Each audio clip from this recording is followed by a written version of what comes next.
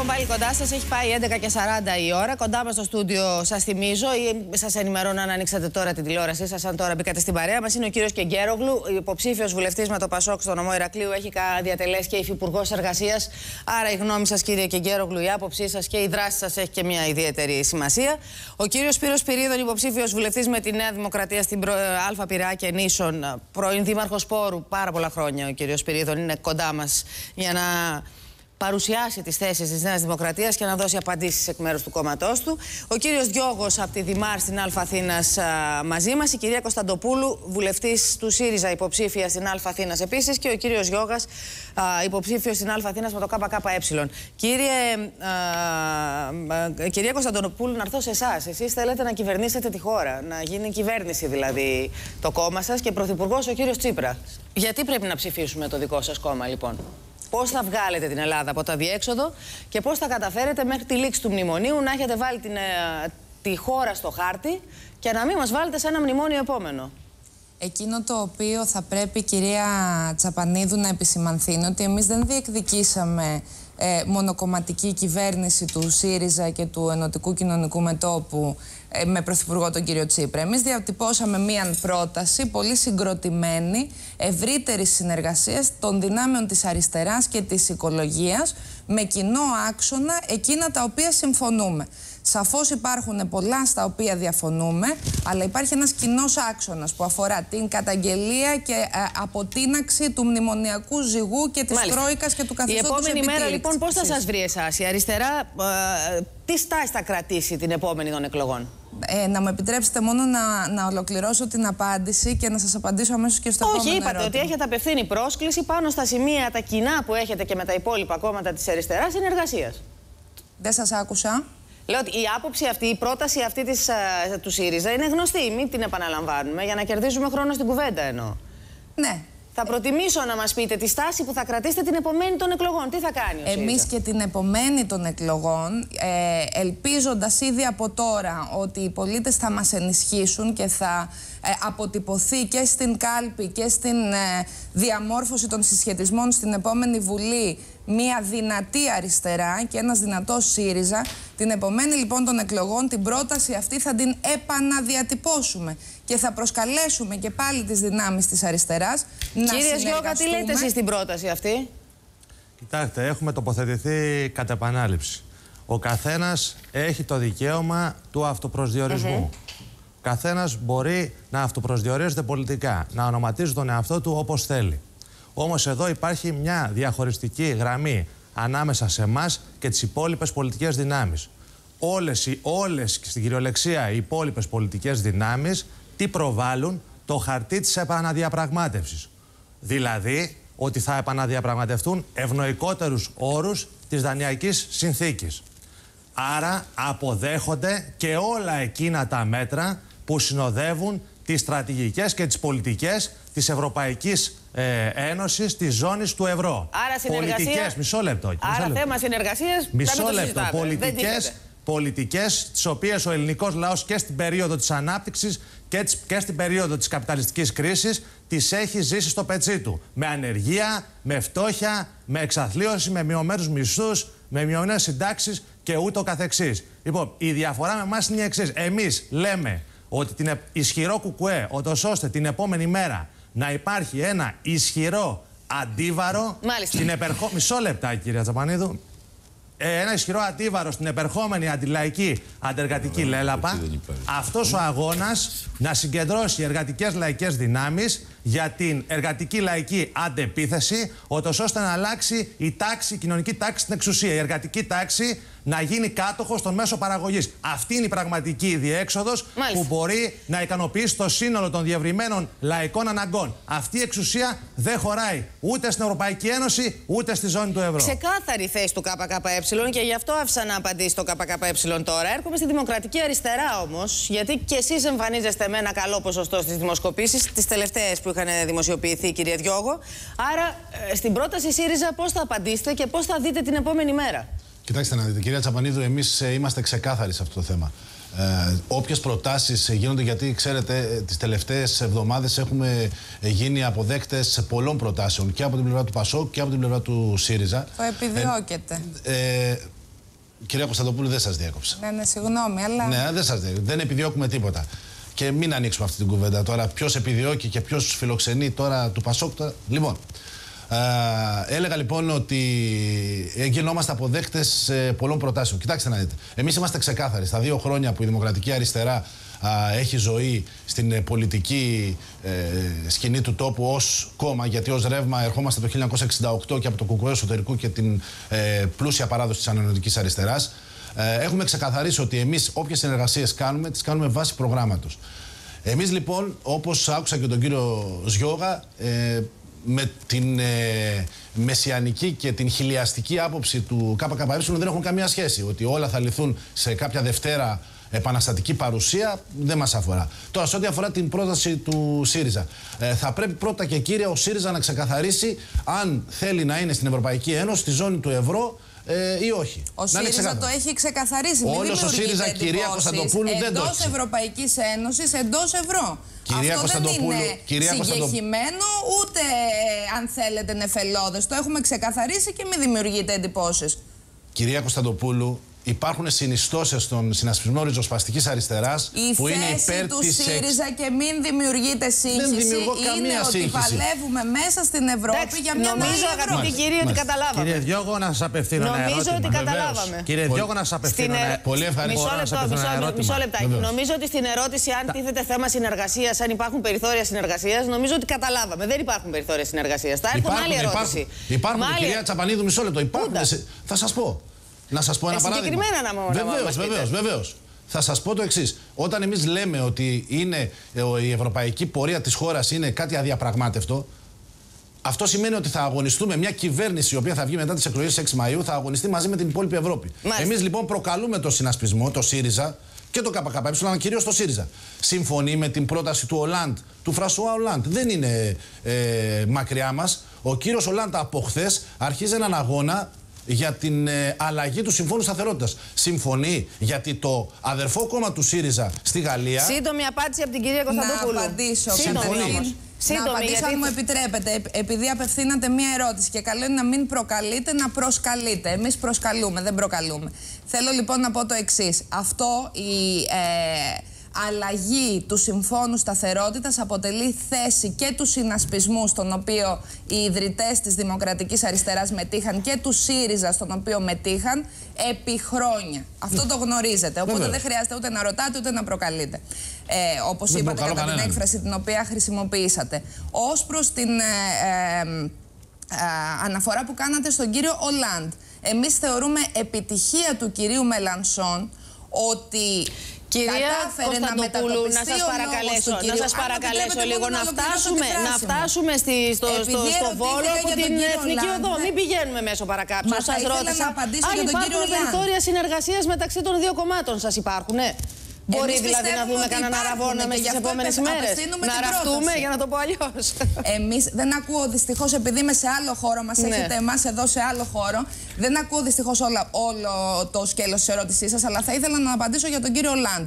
Είναι επιτυχία της αριστεράς και ε, της γαλλικής αριστεράς και του κυρίου Μελανσόν ότι μετατοπίστηκε ο λόγος του κυρίου Ολάντ πιο αριστερά. Μάλιστα. Αυτό δεν σημαίνει ότι ο κύριος Ολάντ είναι όμως κατά ανάγκη ειλικρινής και ότι ό,τι, κάνει, ό,τι λέει θα το κάνει. Λοιπόν, Ας μην είμαστε τόσο αγαπητοί κύριοι και κυρία, θα παρακαλέσω να γυρίσουμε ξανά στα δικά μας, στα στενά ελληνικά πλαίσια και να δούμε μία έρευνα που αποτυπώνει την πραγματική ζωή. Τι συμβαίνει δηλαδή όσο εσείς συζητάτε για συνεργασίες και για επόμενες ημέρες στην πραγματική ζωή στους πραγματικούς ανθρώπους, τους Έλληνες. Έγινε μία έρευνα από το Πανεπιστήμιο των Πατρών, την οποία θα μας παρουσιάσει αμέσως τώρα ο Χρήστος Στρατουλάκος με τον καθηγητή που διεξήγαγε την έρευνα. Καλημέρα και στους δυο σας.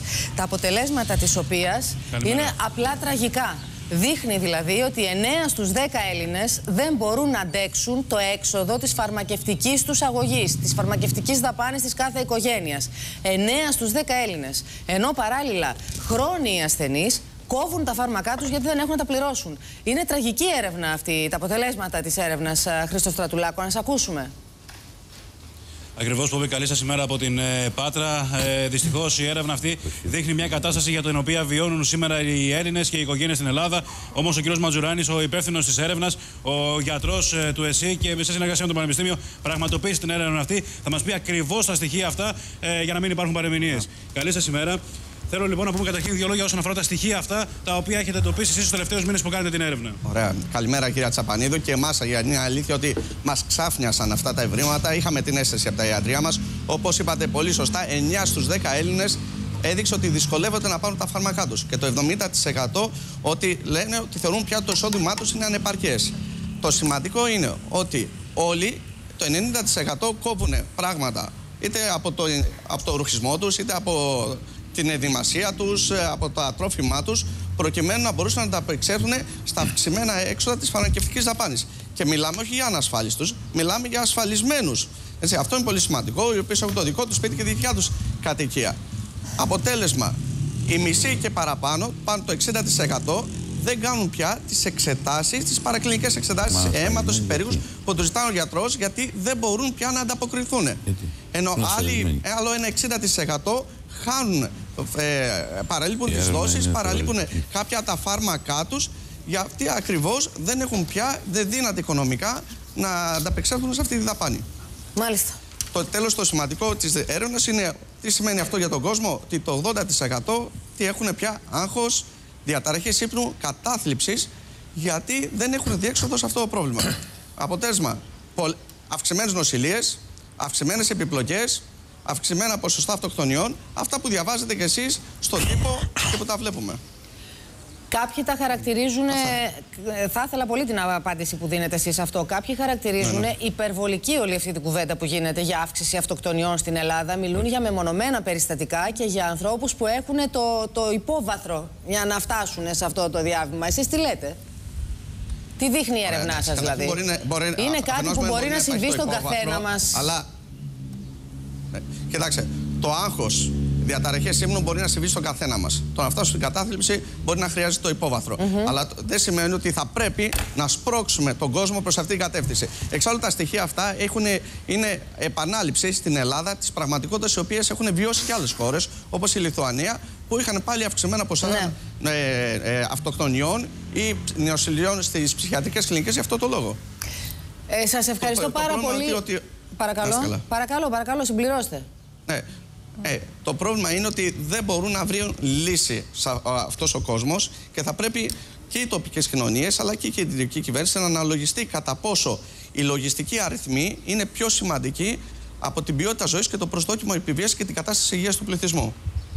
Αυτό που είπατε το κρατώ ως ερώτηση για όλους τους καλεσμένους μας. Σας ναι. ευχαριστώ πολύ. Είναι συγκλονιστικά τα στοιχεία. Εγώ ευχαριστώ. Αυτά. Συγκλονιστικά αυτά τα στοιχεία που παρουσίασαν. Το να μην μπορεί κάποιος να αγοράσει τα φάρμακά του. Στην Ελλάδα του σήμερα. Άρα στην Ελλάδα του αύριο τα πράγματα θα είναι ακόμη χειρότερα. Να κόβουν χρόνια ασθενείς τα φάρμακά τους, να μην κάνουν εξετάσεις που τους γράφουν οι γιατροί.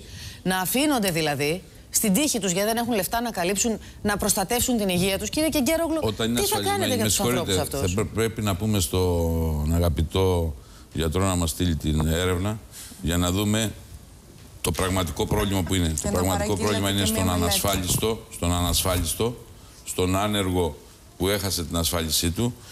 Είναι το πρόβλημα σε αυτόν. Αμφισβητείτε οποίος... δηλαδή τα στοιχεία της μελέτης. Είναι Πανεπιστήμιο Κοιτάξτε, Πατρών. Τι είναι το Πανεπιστήμιο Πατρών, δηλαδή λέει ότι ο ασφαλισμένος. Λέει ότι 9 στους 10 Έλληνες. Ε, δεν πάει για εξτάσει που πληρώνονται από το ασφαλιστικό έχουμε ταμείο. Έχουμε τη, σύνδεσή μας με, την, με την Πάτρα ανοιχτή, παρακαλώ πολύ, για να έχουμε. Έχουμε, ναι. μου λένε, έτσι; Ναι. Μπράβο. Ναι, ναι. Παρακαλώ, που, θα απαντήσετε. Που, στον ασφαλισμένο που πληρώνει το ταμείο του, σε ποιο σημείο, στη συμμετοχή εντοπίζει το πρόβλημα. Γιατί θα μας απαντήσει ο κύριος καθηγητής. Ωραία. Ε, ε είμαι γιατρό στο ΕΣΥ, δεν είμαι καθηγητής. Η μείωση του εισοδήματός του σε συνδυασμό με την αυξημένη συμμετοχή των εξετάσεων δρούν προς αυτή την κατεύθυνση. Δηλαδή, όταν τα χρόνια φάρμακα είναι 10% η συμμετοχή, εντοπίζεται στο 10%. Καλώς. Να, μην, να το, μειωθεί. 10, το 10% τα περισσότερα, τα περισσότερα πια είναι 25%. Τα χρόνια που είπατε είναι 10%. Χρόνια φάρμα, τα χρόνια που είπατε, Όχι, ε, κύριε καθηγητά, είναι 10%. Τα χρόνια λοιπόν, είναι 10. Στο Αλλά σε κάθε περίπτωση ε, ε, νομίζω ε, ότι είναι σωστό να πούμε ότι η συμμετοχή την περίοδο της κρίσης πρέπει να μειωθεί γιατί η μείωση του εισοδήματος πράγματι δυσκολεύει. Αλλά το πρόβλημα το μεγάλο πρέπει να το εντοπίσατε μάλλον στους άνεργους και στους ανασφάλιστους οι οποίοι αδυνατούν να έχουν πρόσβαση εάν δεν ψηφίζαμε στην, ε, τον Απρίλιο τη διάταξη για ιατροφαρμακευτική κάλυψη και αν δεν έχουν, έχουν νομοσοκομιακή κάλυψη αυτοί οι άνθρωποι, αυτοί έχουν το μεγάλο πρόβλημα. Οι άνεργοι και οι ανασφάλιστοι είναι σχεδόν αποκλεισμένοι από το σύστημα. Mm. Εμείς μιλάμε όμως και για τους ασφαλισμένους, οι οποίοι πραγματικά δυσκολεύονται. Είναι και αυτό το πρόβλημα, αλλά το άλλο είναι αυτοί που είναι αποκλεισμένοι τελείως. Οι, Α, οι άλλοι είναι απλώς αποκλεισμένοι ναι, τελείως από το σύστημα υγείας. Κύριε Σπυρίδων. Αυτά αφορούν πολιτικές και αριθμούς, αν θέλετε, που δεν έχουν καμία σχέση με πραγματικότητα πολλές φορές. Εγώ θα σα πω ότι ήρθα στον Πειραιά, στον ΝΑΤ και στον οίκο του ναύτου. Άνθρωποι ασφαλισμένοι. Ένας καπετάνιος περήφανος μου είπε ότι έχω 32 χρόνια στα καράβια. 22 τα έκανα στη Λαμαρίνα. Δύο φαντάρα ήταν η οικογένειά μου 7 χρόνια. Και μου μειώσαν τη σύνταξη στα 1200 και δεν μπόρεσα να αγοράσω τα φάρμακα διότι το σύστημα του ΕΟΠΗ δεν είχε τελειοποιηθεί και δεν μπορούσε μέσω του οίκου του ναύτου να αγοραστούν τα φάρμακα του ανθρώπου. Και δεν έχει ενταθεί ακόμα ο οίκος του ναύτου, ακόμα είναι δεν έχει πάει στο ΕΟΠΗ. Μα δεν έχει πάει στο ΕΟΠΗ. Άρα λοιπόν αυτό που λέτε ένας, ναι. είναι ένα μεγάλο ψέμα. Λέω ψέμα δεν είναι. Δεν έχει πάει ο οίκος ναύτου στο ΕΟΠΗ. Σας παρακαλώ τώρα. Μην λέτε τώρα ε, παραμύθια. Ο άνθρωπος αυτός δεν μπορούσε να αγοράσει τα φάρμακα. Άλλο αυτό. Άρα λοιπόν Άλλο υπάρχει αυτό. πρόβλημα. Τον και, κάτι, που τον έμπλεξες. και κάτι άλλο. Και κάτι άλλο. Εάν νομίζουμε ότι οι αυτοκτονίες έχουν σχέση με μια παθογένεια που έχει σχέση με το κάθε άτομο, είναι τραγικό λάθος. Δηλαδή, προκειμένου θα πρέπει να, να γίνουν ισχυροί άνθρωποι, σιδερένοι άνθρωποι, ναι. προκειμένου να απεξέλθουν στα προβλήματα αυτά που της κατάθλιψης που έρχονται από την οικονομική κρίση. Είναι Μάλιστα. υποχρεωμένη η πολιτεία να συνδράμει τους αδύναμους. Λοιπόν, Δεν είναι υποχρεωμένη να, να φτιάξει ατσάλι. Πρέπει να διακόψουμε πολίτες. για να κάνουμε ένα διάλειμμα διαφημιστικό στο σημείο αυτό. Θα επανέλθουμε με το ίδιο θέμα βεβαίως και όχι μόνο αμέσως μετά τις διαφημίσεις.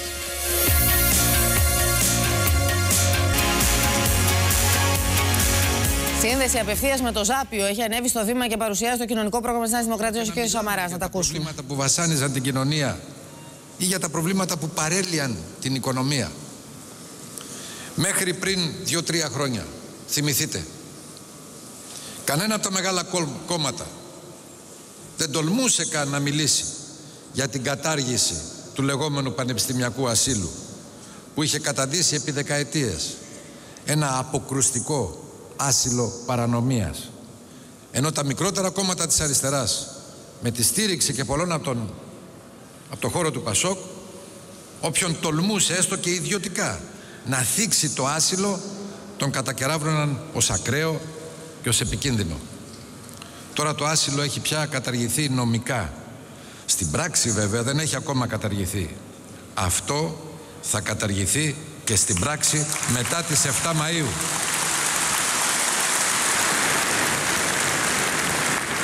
Εμείς τολμήσαμε και το θέσαμε ανοιχτά, καθαρά.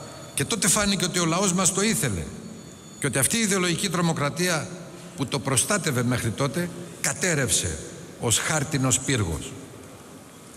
Μέχρι πριν ένα χρόνο κανένα από τα δύο μεγάλα κόμματα δεν τολμούσε να μιλήσει για το θέμα της λαθρομετανάστευσης. Τα μικρότερα κόμματα της αριστεράς μαζί με τη στήριξη του Πασόκ είχαν απαγορεύσει ακόμα και τη λέξη.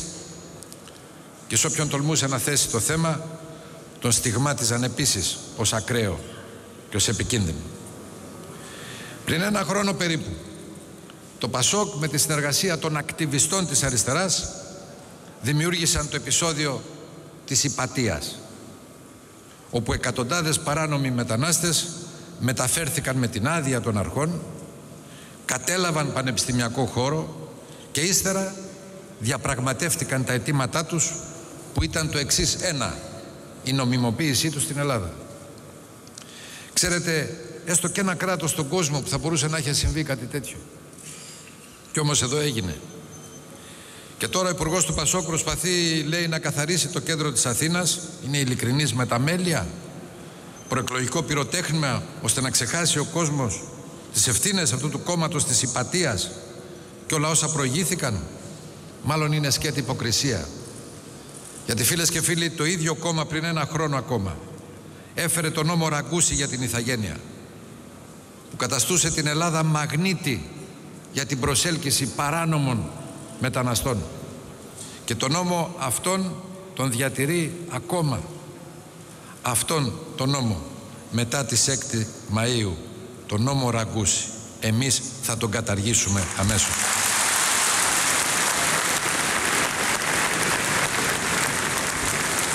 Μέχρι πριν λίγο καιρό το θέμα της ασφάλειας και όχι μόνο για τους λαθρομετανάστες θεωρούνταν από κάποιους της αριστεράς και του Πασόκ και από τα μέσα μαζικής ενημέρωσης ακόμα να τα λέμε τα πράγματα με το όνομά τους ότι ήταν θέματα δεξιάς ατζέντας. Και όποιος τολμούσε να ζητήσει να αλλάξει το νομικό και το δικονομικό πλαίσιο της αστυνόμευσης τον στιγμάτιζαν και πάλι αμέσως ακραίο και επικίνδυνο. Τώρα δεν τολμούν πια να πούν τέτοια πράγματα. Ξέρουν ότι η κοινωνία βράζει. Ξέρουν ότι στις γειτονιές βασιλεύει ο τρόμος. Ξέρουν ότι σε πάρα πολλές μεριές της Ελλάδας δυστυχώς πια βασιλεύει ο φόβος. Και οι Έλληνες είναι άνθρωποι ελεύθεροι και περήφανοι. Δεν αντέχει κανένας να ζει με το φόβο.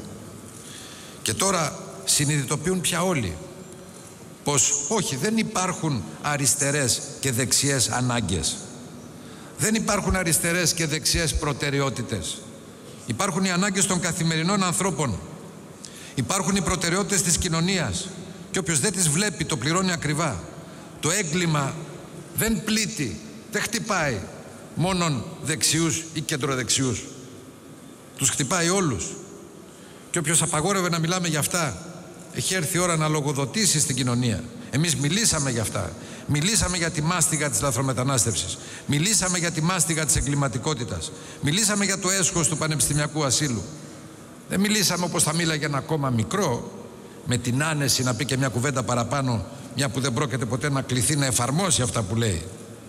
Μιλήσαμε με την ευθύνη ενός κόμματος που ό,τι λέει σήμερα θα πρέπει να το κάνει αύριο. Και μιλήσαμε έξω από τα δόντια. Και ξαφνικά τι έγινε.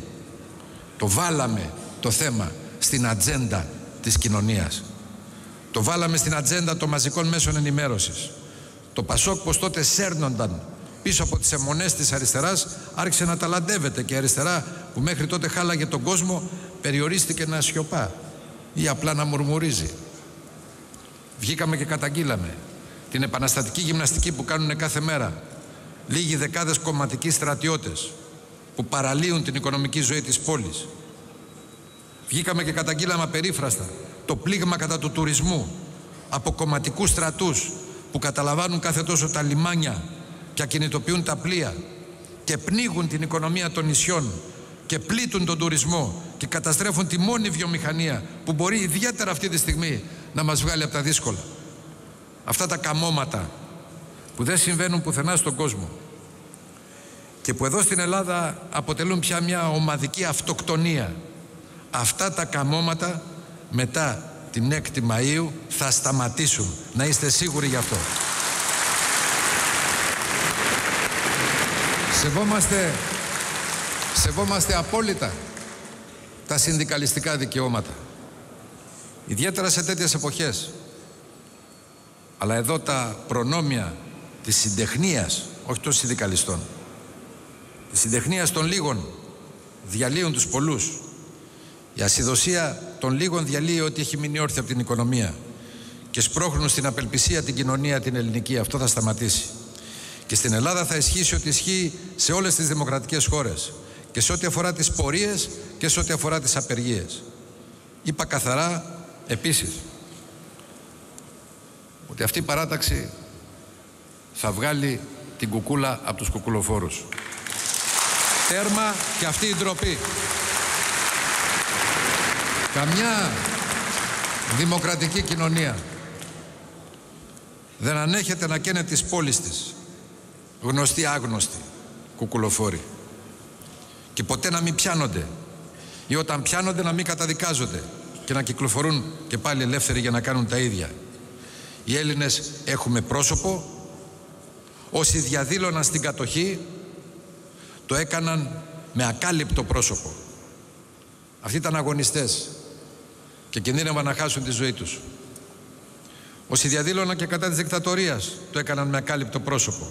Και αυτοί ήταν αγωνιστές και διέτρεχαν και εκείνοι κινδύνους. Σήμερα, σε συνθήκες πλήρους ασυδοσίας, κάποιοι διαδηλώνουν με κουκούλες. Αυτοί δεν κινδυνεύουν το παραμικρό. Εκ του ασφαλούς καίνε της πόλης, καίνε τις περιουσίες, του απλού μικρομεσαίου του μαγαζάτορα. ρημάζουν τη ζωή του Κοσμάκη, κλείνουν μαγαζιά, στέλνουν τον κόσμο στην ανεργία. Αυτά μετά την 6η Μαΐου τελείωσαν.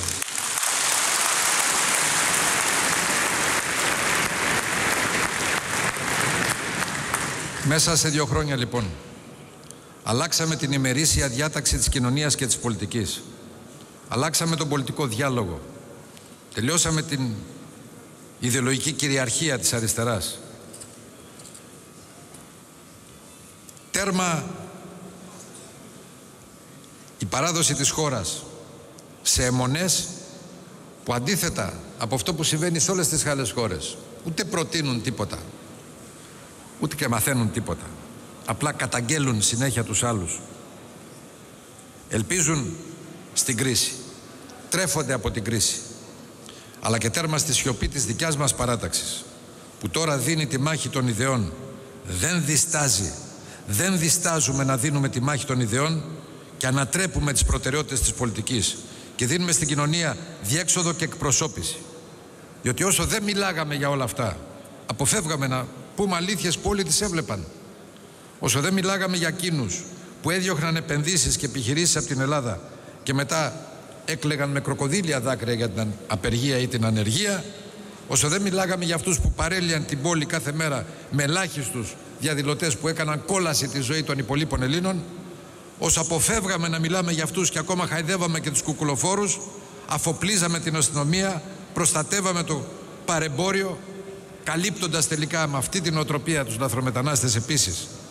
Η κοινωνία όμως μάθαινε ότι πια δεν είχε εκπροσώπηση.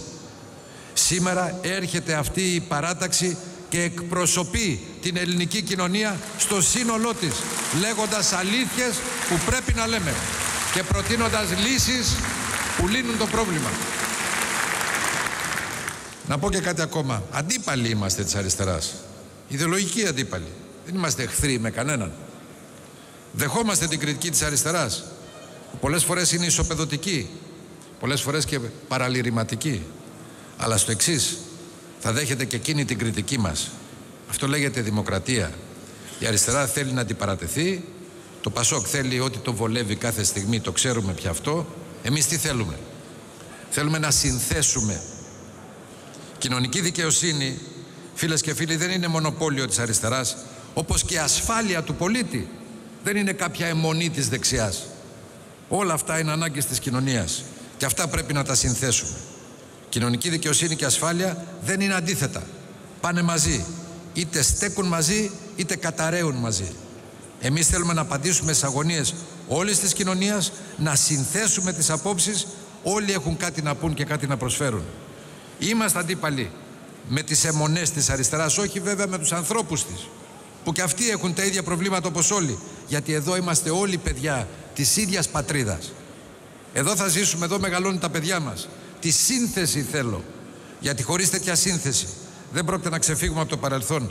Για αυτή τη σύνθεση μίλησα χθες στους ανθρώπους του πολιτισμού και τους ζήτησα πέρα και πάνω από κόμματα να μπουν μπροστά να μετατρέψουμε τα αντίθετα στερεότυπα σε ζωντανές ιδέες και δημιουργία να τολμήσουμε τη σύνθεση όλων εκείνων των πραγμάτων που μέχρι σήμερα μας δίχαζαν η ανάλυση είναι κατόρθωμα ελληνικότητας εδώ και πολλούς αιώνες. Αλλά η σύνθεση είναι έτοιμα ελληνικότητας από πάντα. Σήμερα η σύνθεση αυτή είναι και έτοιμα οικουμενικότητας. Τα λέω έτσι έξω από τα δόντια ακριβώς γιατί η σιωπή η δική μας, η σιωπή των οικοκυρέων Ελλήνων, η σιωπή της ίδιας της κοινωνίας. Δεν βοήθησε τη σύνθεση. Προσέξτε, η λέξη επιχειρηματικότητα ήταν απαγορευμένη. Τώρα πια δεν είναι απαγορευμένη. Είναι αντίθετα επιχειρηματικότητα εθνική προτεραιότητα. Η ανταγωνιστικότητα ήταν λέξη απαγορευμένη. Τώρα είναι και αυτή προτεραιότητα. Η ασφάλεια ήταν απαγορευμένη λέξη. Τώρα είναι ύψιστη προτεραιότητα. Η αναφορά στην πατρίδα ήταν απαγορευμένη πέρα για πέρα. Σχεδόν γραφική κάποτε. Τώρα οι πάντες την επικαλούνται. Ακόμα και η ανάπτυξη ως προτεραιότητα ήταν απαγορευμένη όταν μας έβαζαν στο μνημόνιο. Τώρα είναι αυτονόητη για όλους. Μπορεί ακόμα κάποιοι να δυσφορούν που τα ακούν. Αλλά τουλάχιστον βάλαμε το διάλογο και την ατζέντα και δεν υπάρχουν απαγορευμένες λέξεις. Αυτό δεν το κάναμε για να τσακωθούμε. Το κάναμε για να στενοηθούμε με τους ιδεολογικούς μας αντιπάλους και να ενώσουμε τους Έλληνες. Απότερός μου στόχος δεν είναι να νικήσω κάποιους κακούς. Στόχος μου είναι ο πιο δύσκολος και ο πιο φιλόδοξος από όλους. Να προσπαθήσουμε να ενώσουμε την Ελλάδα. Πρώτον γιατί στα δύσκολα μόνον ενωμένοι θα επιβιώσουμε. Και μόνον ενωμένοι θα τα ξεπεράσουμε. Και γιατί δεν είμαστε και κολλημένοι. Και αν καμιά φορά σηκώνουμε τους τόνους είναι γιατί δεν ανεχόμαστε κάποιους που έχουν μείνει κολλημένοι στις αιμονές του χθες, στις νοοτροπίες και συμπεριφορές του χθες να έρχονται με την ευκολία που ανάβουν και το τσιγάρο τους να μας κουνάνε το δάχτυλο πολιτικά και να μας λένε ότι εκείνοι εξορισμού γνωρίζουν και εμείς εξορισμού έχουμε λάθος. Και ακόμα Σηκώνω τους τόνους και απέναντι στο Πασό και απέναντι στην αριστερά και απέναντι στα μικρότερα κόμματα που δεν ανήκουν στην αριστερά, αλλά έχουν πάρει βέβαια τις χειρότερες συνήθειες των αριστερών, γιατί δεν αντέχω να καταδημαγωγούν τον ελληνικό λαό την ώρα της χειρότερης δοκιμασίας του. Και αυτό δεν μπορεί να περνάει απαρατήρητο. Προτεραιότητά μας λοιπόν η ενότητα του λαού. Αλλά για να ενωθούμε πρέπει να είμαστε ειλικρινείς μεταξύ μας. Οι καλοί λογαριασμοί κάνουν τους καλούς φίλους. Θέλουμε να αγκαλιάσουμε όλη την Ελλάδα οι Έλληνες ζητούν αλήθειες, όχι υποκριτικά μισόλογα και όχι βέβαια θεατρινίστικες κραυγές. Φίλες και φίλοι, πολλοί αναρωτιούνται. Εντάξει, επιβάλλατε τελικά αυτά να τα συζητάμε. Σπάσατε ταμπού δεκαετιών, εντάξει. Αλλά μπορείτε να κάνετε κάτι συγκεκριμένο για τη λαθρομετανάστευση και την ασφάλεια; Μπορείτε να ανακαταλάβετε τις πόλεις μας και να εμπεδώσουμε ξανά την ασφάλεια και στην Ήπεθρο. Μπορούμε. Η απάντηση είναι απλή, ναι μπορούμε. Κάνοντας ό,τι κάνουν όλες οι άλλες δημοκρατικές χώρες. Τίποτα παραπάνω, τίποτα λιγότερο. Πώς θα πιάσουμε τους κουκουλοφόρους; Απαντώ. Δεν είναι αλήθεια ότι δεν τους έπιαναν. Η αλήθεια είναι ότι όταν τους έπιαναν δεν προσάγονταν σε δίκη ή δεν καταδικάζονταν ή έπεφταν στα μαλακά για να αφαιθούν μετά από λίγο ελεύθεροι. Γιατί; Γιατί στο θέμα αυτό οι νόμοι και οι δικονομικοί κανόνες είναι πολύ αδύναμοι στην Ελλάδα και εντελώς διαφορετική από ό,τι ισχύει παντού αλλού. Αυτό θα αλλάξει. Και είναι το πρώτο που θα αλλάξει. Θα αλλάξουν επίσης και οι μορφές αστυνόμευσης για να μπορούν οι αστυνομικοί να κάνουν τη δουλειά τους. Θα αποκτήσουν εκείνα τα μέσα που χρειάζονται για να είναι αποτελεσματικοί. Χωρίς να θέτουν σε κίνδυνο ούτε τη δικιά τους ζωή και βέβαια ούτε τη ζωή των πολιτών. Θα χρησιμοποιηθούν για παράδειγμα υδροφόρες για να αντιμετωπίζουν πολύ βία επεισόδια χωρίς να θέτουν σε κίνδυνο τη ζωή κανενός. Να μπορεί η αστυνομία να τους ηρεμεί και να σβήνουν ταυτόχρονα οι αιστείες πυρκαγιάς πριν πάρουν διαστάσεις που θέτουν σε κίνδυνο ανθρώπινες ζωές. Θα χρησιμοποιηθούν οι κάμερες ασφαλείας, όπως ακριβώς συμβαίνει σε οποιαδήποτε δημοκρατική χώρα και θα αποτελούν επαρκή τεκμήρια για διώξεις τέτοιων αδικημάτων όπως καταστροφές, βανδαλισμοί, εμπρισμοί κτηρίων όπως φυσικά και για πράξη τρομοκρατίας. Να το καταλάβουμε κάποτε. Οι κάμερες σε δημόσιο χώρο δεν παραβιάζουν τον ιδιωτικό βίο των πολιτών. Προστατεύουν την ασφάλειά του και αποθαρρύνουν όσους απειλούν την ασφάλειά τους. Και η καταστροφή αυτών των καμερών θα τιμωρείται παραδειγματικά. Δεν χρειάζεται να ανακαλύψουμε τον τροχό. Λέω απλά πράγματα δοκιμασμένα γίνονται παντού αλλού και έχουν αποτελέσματα, θα γίνουν και εδώ. Απλά τι χρειάζεται; Χρειάζεται πολιτική βούληση. Πολιτική αποφασιστικότητα. Η απόφαση. Η κυβέρνησή μας μετά την 7η Μαΐου θα έχει τη βούληση και την απόφαση να τα εφαρμόσει. Αυτή τη στιγμή, παρά την κατάργηση του ασύλου, σε πολλούς χώρους των πανεπιστημίων εξακολουθούν και υπάρχουν ορμητήρια, θα το πω πως αρμόζει και όπως είναι η πραγματικότητα, ορμητήρια παράνομων συμμοριών. Μέχρι και βιοτεχνίες μολότοφ υπάρχουν με όλα τα απαραίτητα υλικά. Για να μην πούμε ότι διαδικτυακοί τόποι που υπερασπίζονται τους τρομοκράτες και την τρομοκρατία βρίσκονται κατεστημένοι στους σερβερ πανεπιστημιακών ιδρυμάτων. Αυτές οι παράνομες φωλιές θα καθαρίσουν και αυτή η ασυδοσία θα σταματήσει τα πανεπιστημιακά ιδρύματα θα αναπνεύσουν και θα ηρεμήσουν. Θα θυμίζω ότι καθηγητές, ακόμα και πριτάνης, ξυλοκοπήθηκαν και προπυλακίστηκαν πολλές φορές στο παρελθόν. Ακόμα και εκείνοι που προέρχονται από το χώρο της αριστεράς. Η τρομοκρατία και η αλητεία δεν ξεχωρίζει αριστερούς, δεξιούς και κεντρώους. Δεν χαρίζεται σε κανένα. Αυτό θα σταματήσει και τα ίδια τα πανεπιστημιακά ιδρύματα θα αποκτήσουν τα μέσα να προστατεύουν την ασφάλεια και των καθηγητών και των φοιτητών με τη βοήθεια εκεί που χρειάζεται της αστυνομίας. Θα φύγει οριστικά ο τρόμος από τα ελληνικά πανεπιστήμια μετά την 6η Μαΐου.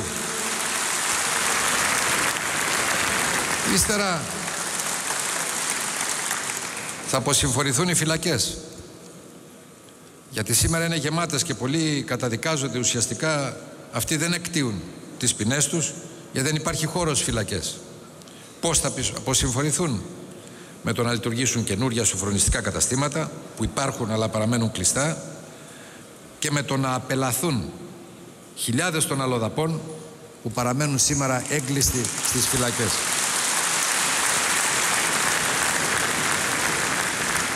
Για τους περισσότερους μπορεί να υπάρχει να κάνουμε διακρατική συμφωνία με τις χώρες προέλευσής τους να τους υποδεχτούν και να τους κρατήσουν εκείνες.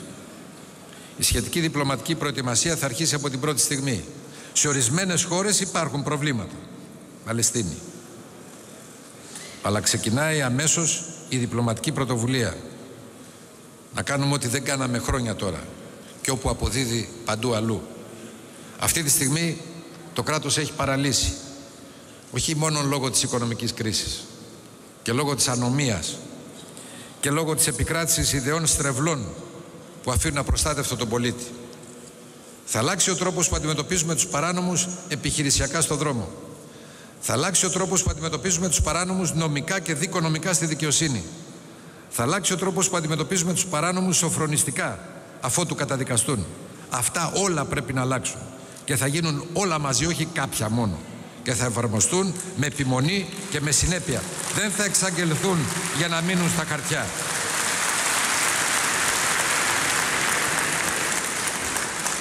Ρωτάνε κάποιοι για τη λαθρομετανάστευση. Τι μπορείτε να κάνετε με αυτό, είναι ήδη πάρα πολύ. Πράγματι είναι πολύ.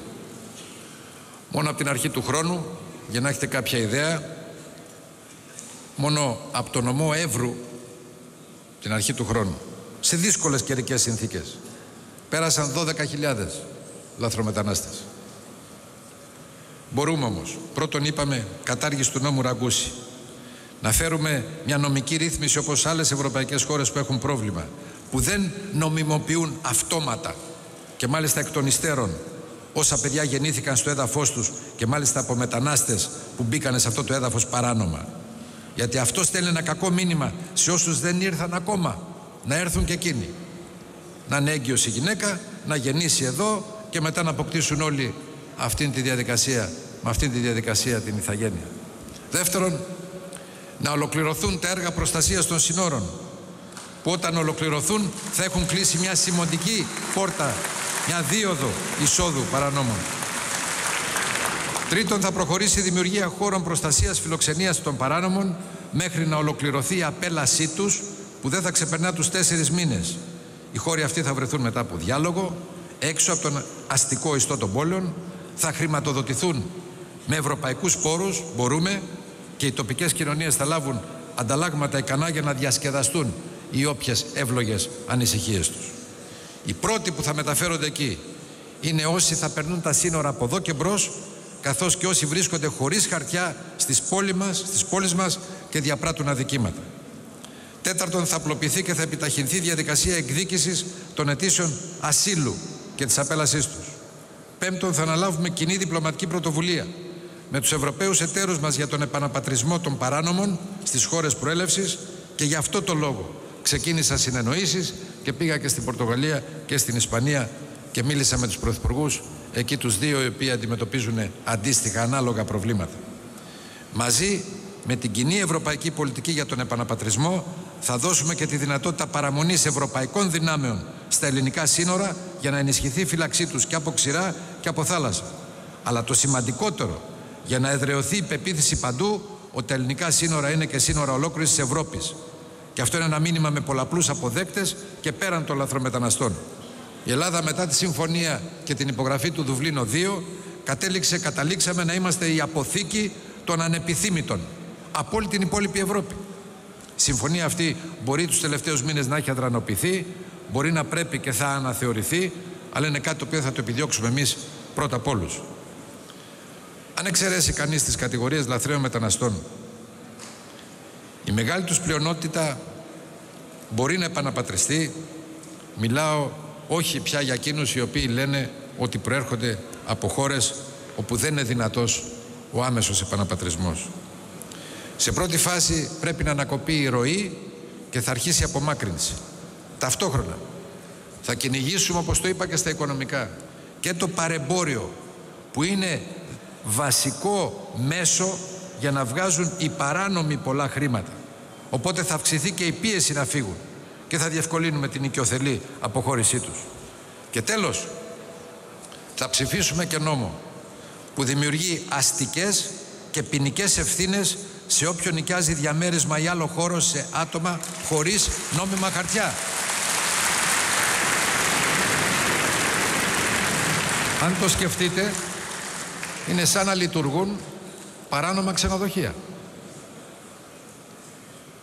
Και αυτοί που νοικιάζουν επομένως σε παρανόμους ελαθρέους θα πρέπει να λογοδοτούν.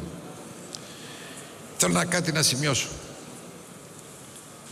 Τώρα οι λαθρομετανάστες ζουν, τα βλέπουμε κάθε μέρα στις τηλεοράσεις, σε άθλιες συνθήκες.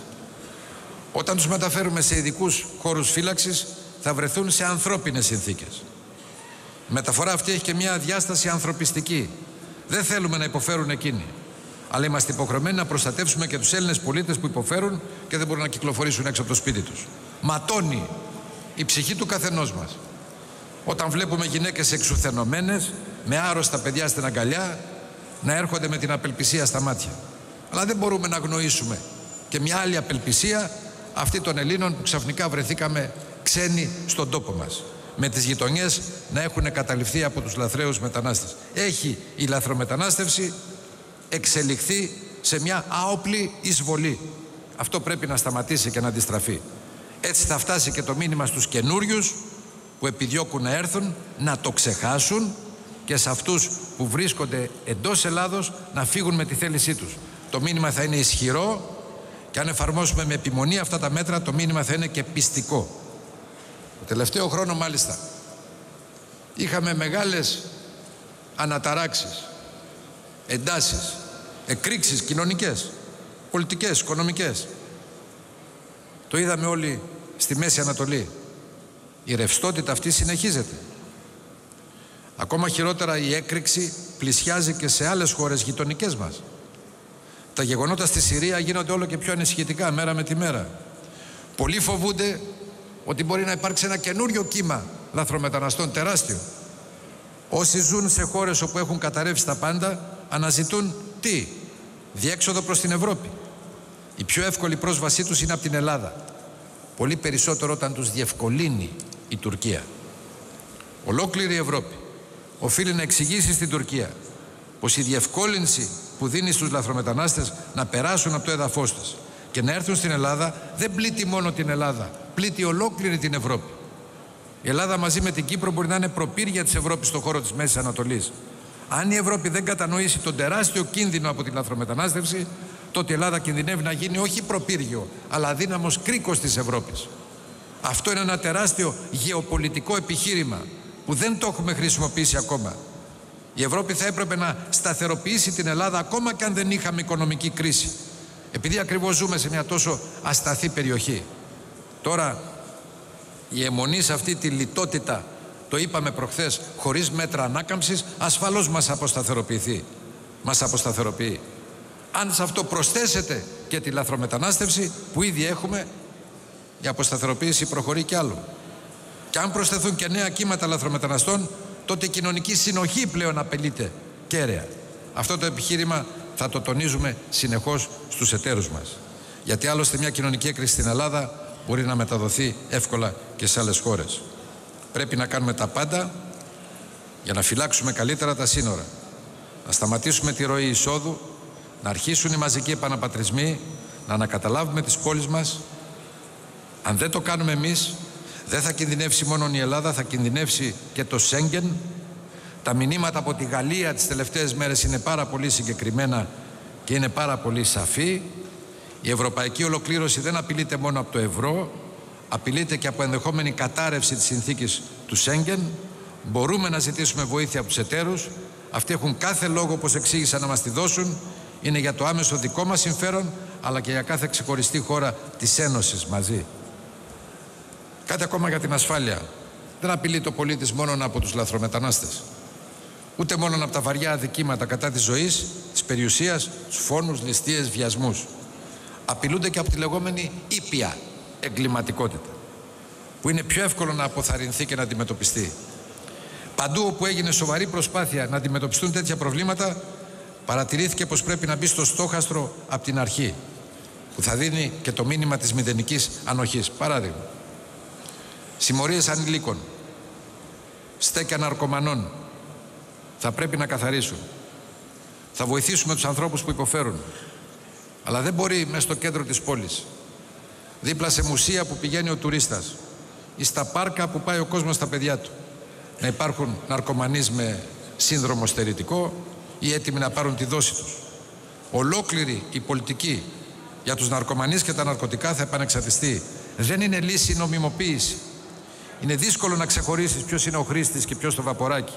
Και συνήθως ο χρήστης είναι βαποράκι. Έτσι βγάζει τη δόση του. Λύση είναι η θεραπεία. Να αποσπάσουμε τους χρήστες από τα κυκλώματα της εμπορίας. Θα χρησιμοποιήσουμε τα πάντα για να το πετύχουμε αυτό. Και βέβαια φυσικά τα νόμιμα υποκατάστατα, όπως η μεθαδόνη. Και θα κάνουμε τα πάντα ώστε τα παιδιά να προχωρήσουν πέραν από την υποκατάσταση, στην αποτοξίνωση που είναι η αληθινή θεραπεία. Θεραπεία και επανένταξη. Αυτή είναι η λύση. Αλλά τα στέκια σε δημόσια θέα θα φύγουν από την πόλη. Και θέλω να το πω σε όλες τις οικογένειες. Και το ξέρετε ότι είναι πάρα πολλές σε όλη την Ελλάδα. Θέλω να το πω στις οικογένειες με παιδιά που έχουν μπλέξει σε αυτό τον εφιάλτη. Ότι θα αγωνιστώ για τη θεραπεία και την επανένταξή τους. Υπάρχουν τρόποι σήμερα. Αλλά πρέπει να βγουν τα παιδιά από τον εφιάλτη. Δεν μπορούμε επίσης να κάνουμε τίποτα από όλα αυτά. Με αστυνομικούς κακοπληρωμένους που συνεχώς βλέπουν ήδη τον πετσοκομμένο μισθό τους να πέφτει.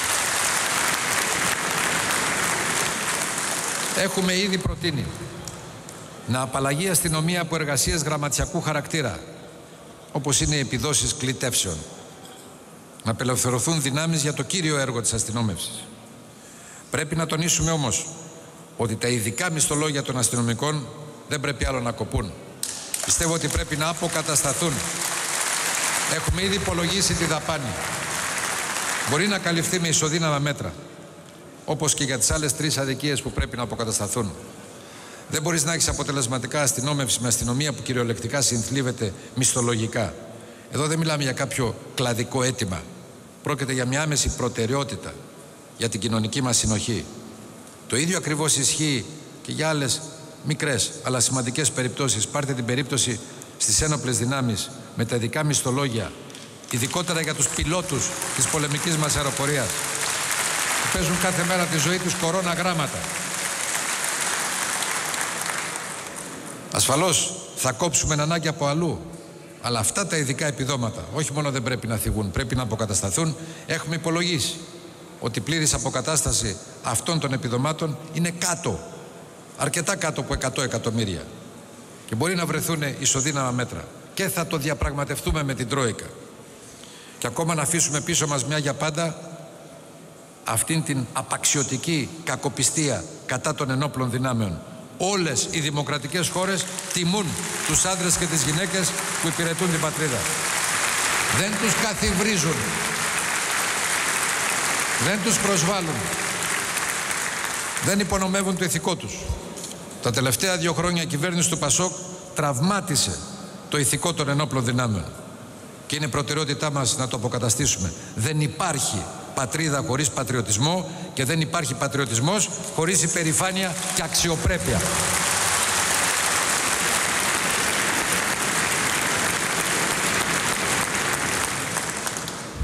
Τώρα έρχομαι στη δικαιοσύνη. Πρώτο θέμα. να λήγουν υποθέσεις γρήγορα. Παντού αλλού κρίνονται μέσα στο χρόνο. Ενώ τελεσιδικούν και στους τρεις βαθμούς το πολύ σε δύο χρόνια. Εδώ χρονίζουν για πάντα. Αυτό θα αλλάξει. Πρέπει να πάρουμε μέτρα για την επίσπευση της απονομής δικαιοσύνης. Πρώτον γιατί αυτό δίνει ασφάλεια στον πολίτη. Δεύτερον γιατί όσο οι υποθέσεις δεν καταλήγουν τόσο ενθαρρύνονται οι παράνομοι να παρανομούν. Είναι η καθυστέρηση που πολλές φορές οδηγεί στην ατιμορρησία. Ανάμεσα σε αυτά τα μέτρα που θα υιοθετήσουμε αμέσως είναι και να τελειώσουν εκατοντάδες χιλιάδες υποθέσεις που εκκρεμούν, να ενοποιηθούν τα δικαστήρια, να τριπλασιαστεί το παράβολο ώστε να αποθαρρύνονται όσοι διακατέχονται και είναι πολλοί από δικομανία στην Ελλάδα. Θα ενθαρρύνονται επίσης οι εξοδικαστικοί συμβιβασμοί. Θα επαναξατεστούν ακόμα όλες οι παραγραφές. Σε μερικές περιπτώσεις εγκλήματα παραγράφονται πολύ σύντομα και αυτό οδηγεί στην ατιμορρησία. Η ατιμορρησία και καθυστερήσεις ένα πράγμα. Πέραν από τις αλλαγές στην απονομή δικαιοσύνης υπάρχει όμως και το αίσθημα δικαίου. Θα αλλάξουμε όλο το πλαίσιο για την ασυλία των βουλευτών και για την μη ευθύνη των υπουργών. Ό,τι μπορεί, ό,τι μπορεί θα γίνει άμεσα. Και ό,τι χρειάζεται συνταγματική αλλαγή έχει ήδη μπει στο σχέδιό μας για τη συνταγματική μεταρρύθμιση. Γενική κατεύθυνση. Κανείς δεν θα είναι πάνω από τον νόμο. Ιδιαίτερα όμως όσοι κυβερνούν δεν μπορεί να είναι πάνω από τον νόμο. Όποιος θεσπίζει νόμους αλλά εξαιρεί τον εαυτό του δεν είναι νομοθέτης λέγανε οι αρχαίοι. Είναι τύρανος. Και η Ελλάδα δεν είναι τυραννία είναι δημοκρατία. Και αυτό δεν ισχύει μόνο για την ασυλία βέβαια ή την υπερβολική προστασία των υπουργών. Ισχύει και για τα προνόμια τους. Και το είπα ανοιχτά τέρμα οι κουστοδίες πλέον με τις μαύρες λιμουζίνες που προκαλούν τέρμα τα ειδικά προνόμια για τα αυτοκίνητα εγώ εκλέγομαι από το 77 βουλευτής επί Κωνσταντίνου Καραμαλή δεν υπήρχαν τέτοια προνόμια και η δημοκρατία δούλευε μια χαρά.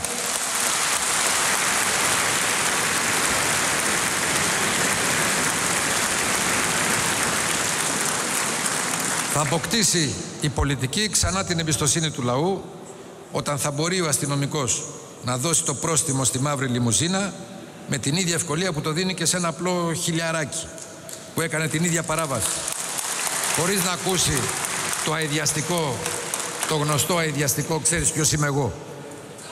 Όχι δεν ξέρω ποιος είσαι εσύ, όποιος κι αν είσαι παραβίασες πάντως και θα υποστείς τις κυρώσεις όπως υφίστανται όλοι. Θα αποκτήσουμε τη δημοκρατία που αξίζουμε μόνο να τελειώσει αυτή η αθλειότητα. Τότε μόνο θα υπάρχει ισονομία. Και αυτό είναι που κάνει τη δημοκρατία πολίτευμα ελευθερίας και δικαιοσύνης, να είναι όλοι ίσοι απέναντι στον νόμο. Και οι βουλευτές μέσα στο λαό, μαζί με το λαό, θα ξανακερδίσουμε έτσι πιο εύκολα την εμπιστοσύνη του ελληνικού λαού που περιμένει από μας να κάνουμε αυτά τα συμβολικά, σημαντικά όμως για το λαό βήματα. Για να αποκαταστήσουμε το αίσθημα του δικαίου επίσης. Θα ερευνήσουμε το πόθεν έσχες όσων συμμετείχαν σε κυβερνήσεις από το 1974. Πόσα χρήματα είχαν πριν μπουν στην πολιτική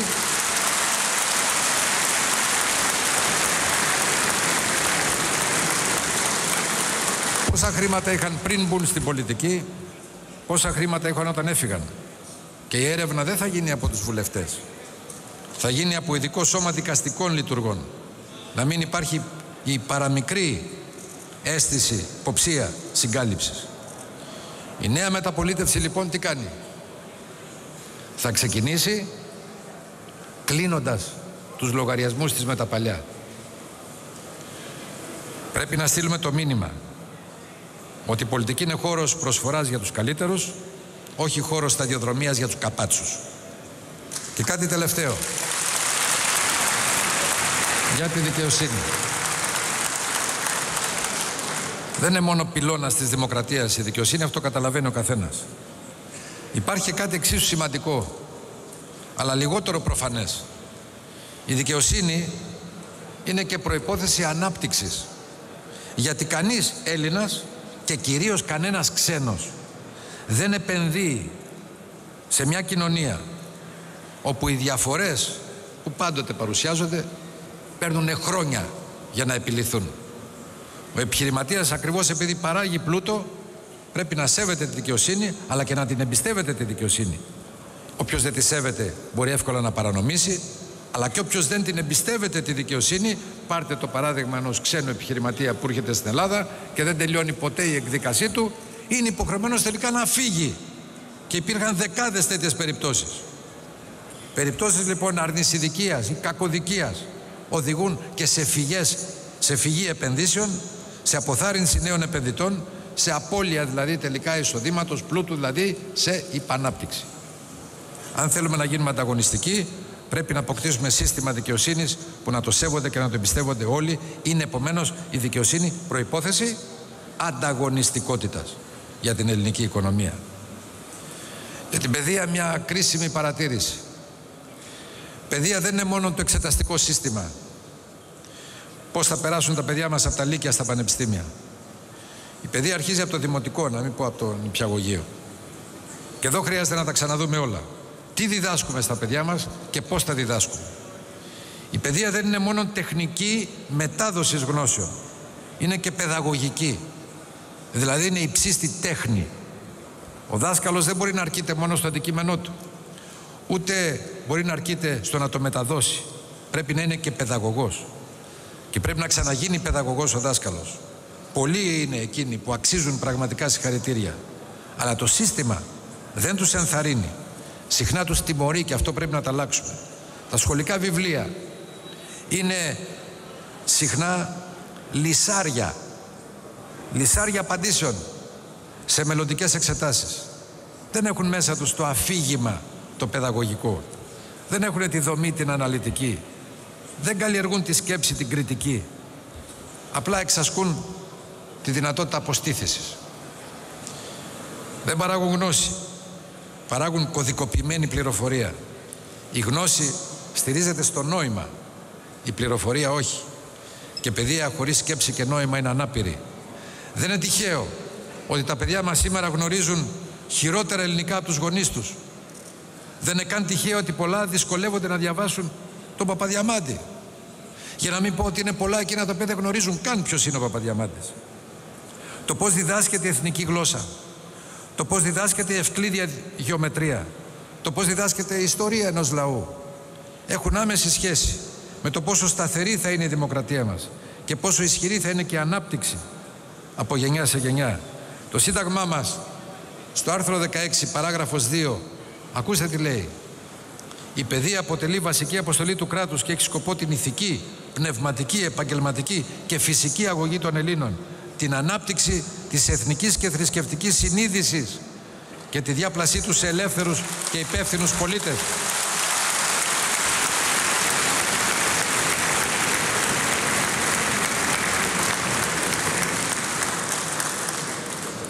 Πρέπει ο καθένας μας να συγκινηθεί από αυτό που λέει το Σύνταγμα. Επαναλαμβάνω την ηθική και πνευματική αγωγή των Ελλήνων. Την ανάπτυξη εθνικής και θρησκευτικής συνείδησης. Αυτό το λέει το Σύνταγμα, έτσι. Αλλά εγώ ρωτάω τα σχολικά βιβλία τι κάνουν. Μήπως προσπαθούν να ξαναγράψουν την ιστορία; Με τρόπο μάλιστα πολλές φορές απαξιωτικό. Αυτά μετά την 6η Μαΐου τελειώσανε. Σε ό,τι αφορά τα πανεπιστήμια. Πέραν από την κατάργηση του ασύλου που είδαμε ήδη ότι ψηφίστηκε. Θα επανεξετάσουμε πλευρές του νόμου 4.009 που είναι ανεφάρμοστες. Στόχος μας είναι να ανοίξουν τα πανεπιστήμια να λειτουργήσουν κανονικά από την 1η Σεπτεμβρίου. Κατεύθυνσή μας να διατηρηθεί το αυτοδιοίκητο των πανεπιστημίων, όπως προβλέπεται από το Σύνταγμα με την αυτονόητη εποπτεία του κράτους. Ακόμα η έμφαση στα πανεπιστήμια πρέπει να δίνεται περισσότερο στην έρευνα. Δεν υπάρχει σύγχρονη εκπαίδευση χωρίς έρευνα. Δεν υπάρχει εθνική ανάπτυξη χωρίς έρευνα. Δεν μπορεί όποια πέτρα και να σηκώσεις στο εξωτερικό να βρίσκεις πετυχημένους Έλληνες ερευνητές και στην Ελλάδα να μην υπάρχει έρευνα ή να καρκινοβατεί. Αυτό θα σταματήσει. Και κάτι για την Εκκλησία. Θα σεβαστούμε το θεσμό και το έργο της. Η Ορθοδοξία είναι αναπόσπαστο τμήμα της ελληνικής ταυτότητας. Είναι τμήμα είναι τμήμα της πολιτιστικής, της ιστορικής μας παράδοσης. Το να γνωρίζουν τα παιδιά την Ορθοδοξία είναι τμήμα της εκπαίδευσης που υποχρεώνεται από το Σύνταγμα να τους προσφέρει το ελληνικό κράτος. Φυσικά εξαιρούνται τα παιδιά των αλόδοξων, που και αυτοί είναι Έλληνες και έχουν πλήρη δικαιώματα στη δικιά τους θρησκευτική παράδοση. Μερικοί που έχουν κάνει λοιπόν επάγγελμα να εξαπολύουν κατά καιρούς επιθέσεις κατά της Εκκλησίας θα έπρεπε να ξαναδιαβάσουμε το σχετικό άρθρο 3 του Συντάγματος. Η πολιτεία δεν πρέπει να ανακατεύεται στο έργο της Εκκλησίας, η Εκκλησία δεν πρέπει να ανακατεύεται με την πολιτική, αλλά η πνευματική παράδοση αναγνωρίζεται συνταγματικά, είναι δυνατή, θα παραμείνει δυνατή όπως συμβαίνει και σε άλλες ευρωπαϊκές χώρες. Και κάποιοι τελευταία Κάποιοι τελευταία διαδίδουν κακόβουλα ότι υπάρχει κάποια πρόθεση να κοπεί η μισθοδοσία των κληρικών. Και θέλω να τονίσω τέτοιο ζήτημα δεν τίθεται. Αντίθετα οφείλουμε να ενισχύσουμε το έργο και τις προσπάθειες της Εκκλησίας ιδιαίτερα αυτή την εποχή γιατί σήμερα με το φιλανθρωπικό της έργο διατηρεί και την κοινωνική συνοχή στηρίζει συνανθρώπους μας που δεν έχουν πια που να στηριχθούν ασκεί προνοιακό έργο σε σημεία πολλές φορές το ίδιο το κράτος έχει αποτύχει και της αξίζει αυτός ο σεβασμός. Εκείνο που είναι στις προθέσεις μας να αλλάξουμε είναι υπέρ της Εκκλησίας, όχι εναντίον της. Όπως θα αξιοποιηθεί και η ακίνητη περιουσία του δημοσίου, θα δώσουμε την ευκαιρία να αξιοποιηθεί και η εκκλησιαστική ακίνητη περιουσία, ώστε να αποκτήσει η Εκκλησία πόρους, να διευρύνει το έργο της. Το μόνο που χρειάζεται είναι να μιλήσουμε μαζί της για τον ρυθμιστικό μηχανισμό ώστε να μην μπλέκεται το ποιμαντορικό της έργο με την τρέχουσα διαχείριση οικονομικών και επενδυτικών συμφερόντων. Η πνευματικότητα της Εκκλησίας πρέπει να διατηρηθεί αλόβητη, τη θέλουμε ισχυρή και όχι αποδυναμωμένη.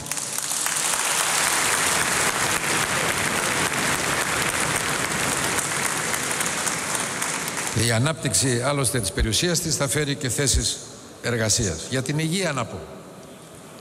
Εδώ θα υπάρχουν μεγάλες αλλαγές αλλά με σχέδιο. Αποσπασματικές μεταρρυθμίσεις πάντοτε, ακόμα και αν είναι σωστές, πολύ συχνά οδηγούν σε αντίθετα αποτελέσματα.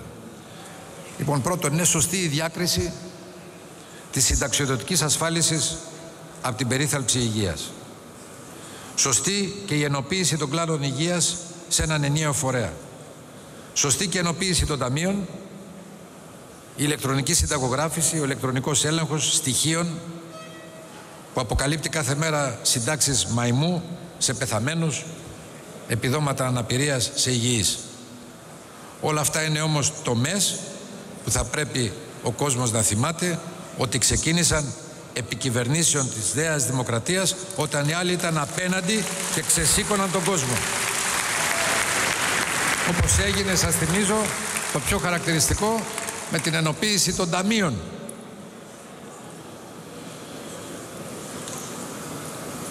Και τα τελευταία δύο χρόνια με προτάσεις της Νέας Δημοκρατίας συνεχίστηκαν ζητήματα όπως η ηλεκτρονική συνταγογράφηση που και η Νέα Δημοκρατία στήριξε και ψήφισε.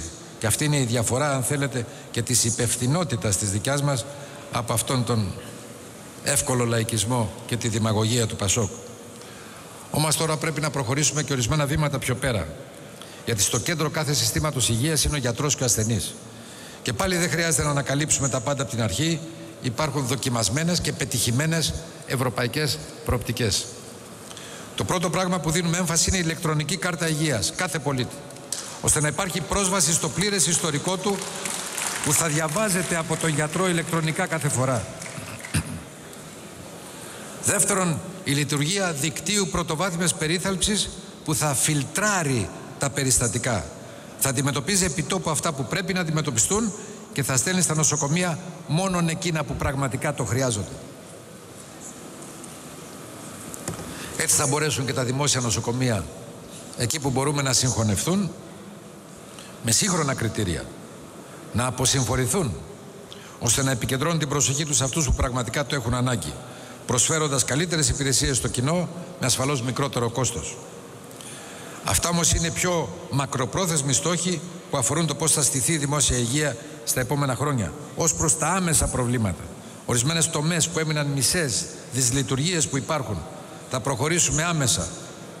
Αλλαγή τρόπου λειτουργίας του ΕΠΗ θα αμείβουμε τους γιατρούς κατά πράξη και κατά περίπτωση θα διαφυλάσσουμε την ιδιοκτησία των γιατρών στα υγεία τους και θα δίνουμε τον τελευταίο λόγο σε εκείνους στην επιλογή της θεραπείας και θα ενισχύσουμε τους σχημαζόμενους φαρμακοποιούς, διασφαλίζοντας τη βιωσιμότητα του μικρού φαρμακείου και διατηρώντας το φαρμακοποιό στο χωριό και στη συνοικία. Έτσι κι αλλιώς για την παιδεία και την υγεία θα προχωρήσουμε σε ένα σχεδιασμό ολοκληρωμένων μεταρρυθμιστικών τομών.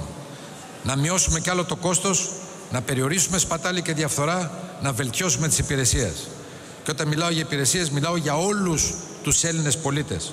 Μιλάω ακόμα και για παραμελημένες ειδικές ομάδες συμπολιτών μας, όπως είναι οι Έλληνες οι Τσιγκάνοι, για τους οποίους πρέπει να φροντίσουμε την πρόσβασή τους στην εργασία, αλλά και την πρόσβαση των παιδιών τους στα σχολεία. Υπάρχουν νόμοι που ψηφίστηκαν για αυτούς και δεν εφαρμόστηκαν ή αργότερα καταργήθηκαν.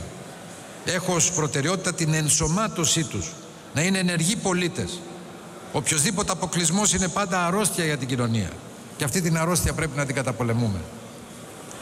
Φίλες και φίλοι, προτείνουμε σήμερα μια μεγάλη συνταγματική μεταρρύθμιση που θα καταστήσει το πολίτευμά μας πιο διάφανο, πιο δίκαιο, πιο αξιόπιστο στον κόσμο που έχει ανάγκη την αξιοπιστία της πολιτείας αλλά και πιο λειτουργικό στη διακυβέρνηση της χώρας. Πρώτον, εμείς θα προτείνουμε το ασυμβίβαστο της ιδιότητας του βουλευτή με τον Υπουργό.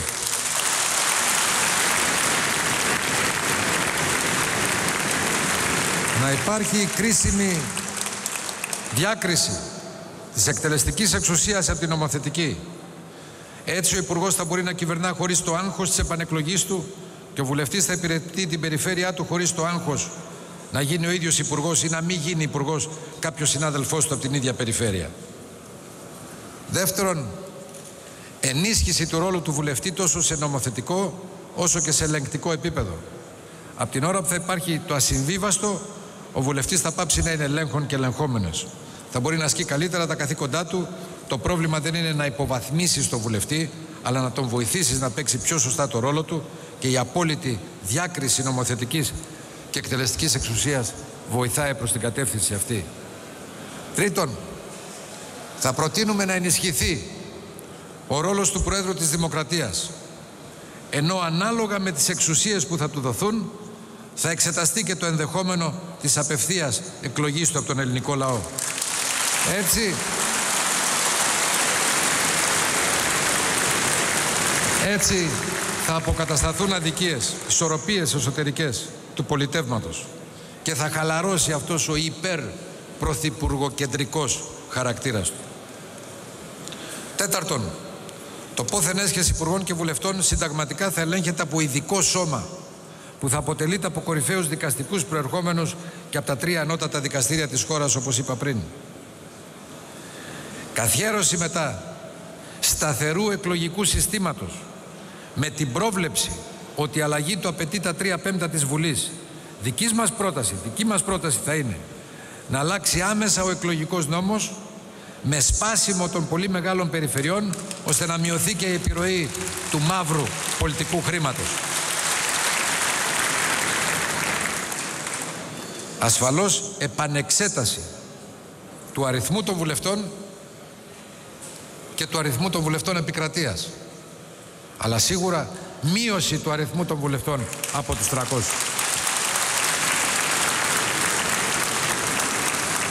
Έβδομο σημείο, ο ουσιαστικός εκδημοκρατισμός των πολιτικών κομμάτων και εγγύησης διαφάνειας στα οικονομικά τους. Όγδον, θα αναθεωρηθεί η διάταξη που αφορά την παραγραφή ποινικής ευθύνης των Υπουργών και θα αλλάξει ο σχετικός νόμος. Στόχος είναι να προστατεύεται ο Υπουργός στην άσκηση των καθηκόντων του. Όχι να το εξασφαλίζεται ασυλία όταν τα παραβιάζει και ζημιώνει το δημόσιο συμφέρον.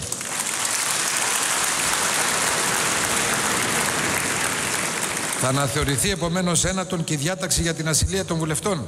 Και αυτή θα αφορά αποκλειστικά την άσκηση των κοινοβουλευτικών τους καθηκόντων και τίποτα παραπέρα. Δέκατο, ενίσχυση της ανεξαρτησίας της δικαιοσύνης. Ώστε να μην μπορεί η εκτελεστική εξουσία να αποδηγετεί τη δικαιοσύνη. Και έτσι θα περιοριστεί η ευχέρεια που υπάρχει σήμερα στην κυβέρνηση να κάνει εκείνη όποιον θέλει στην επιλογή της ηγεσίας της δικαιοσύνης. Ενδέκατο, θα προβλέπεται η διεξαγωγή δημοψηφίσματος και με λαϊκή πρωτοβουλία. Δωδέκατο, θα επιτραπεί κάτι το οποίο είναι απολύτως αναγκαίο και για την παιδεία και για το μέλλον των παιδιών μας και για την ανάπτυξη που είναι η ίδρυση μη κρατικών πανεπιστημίων.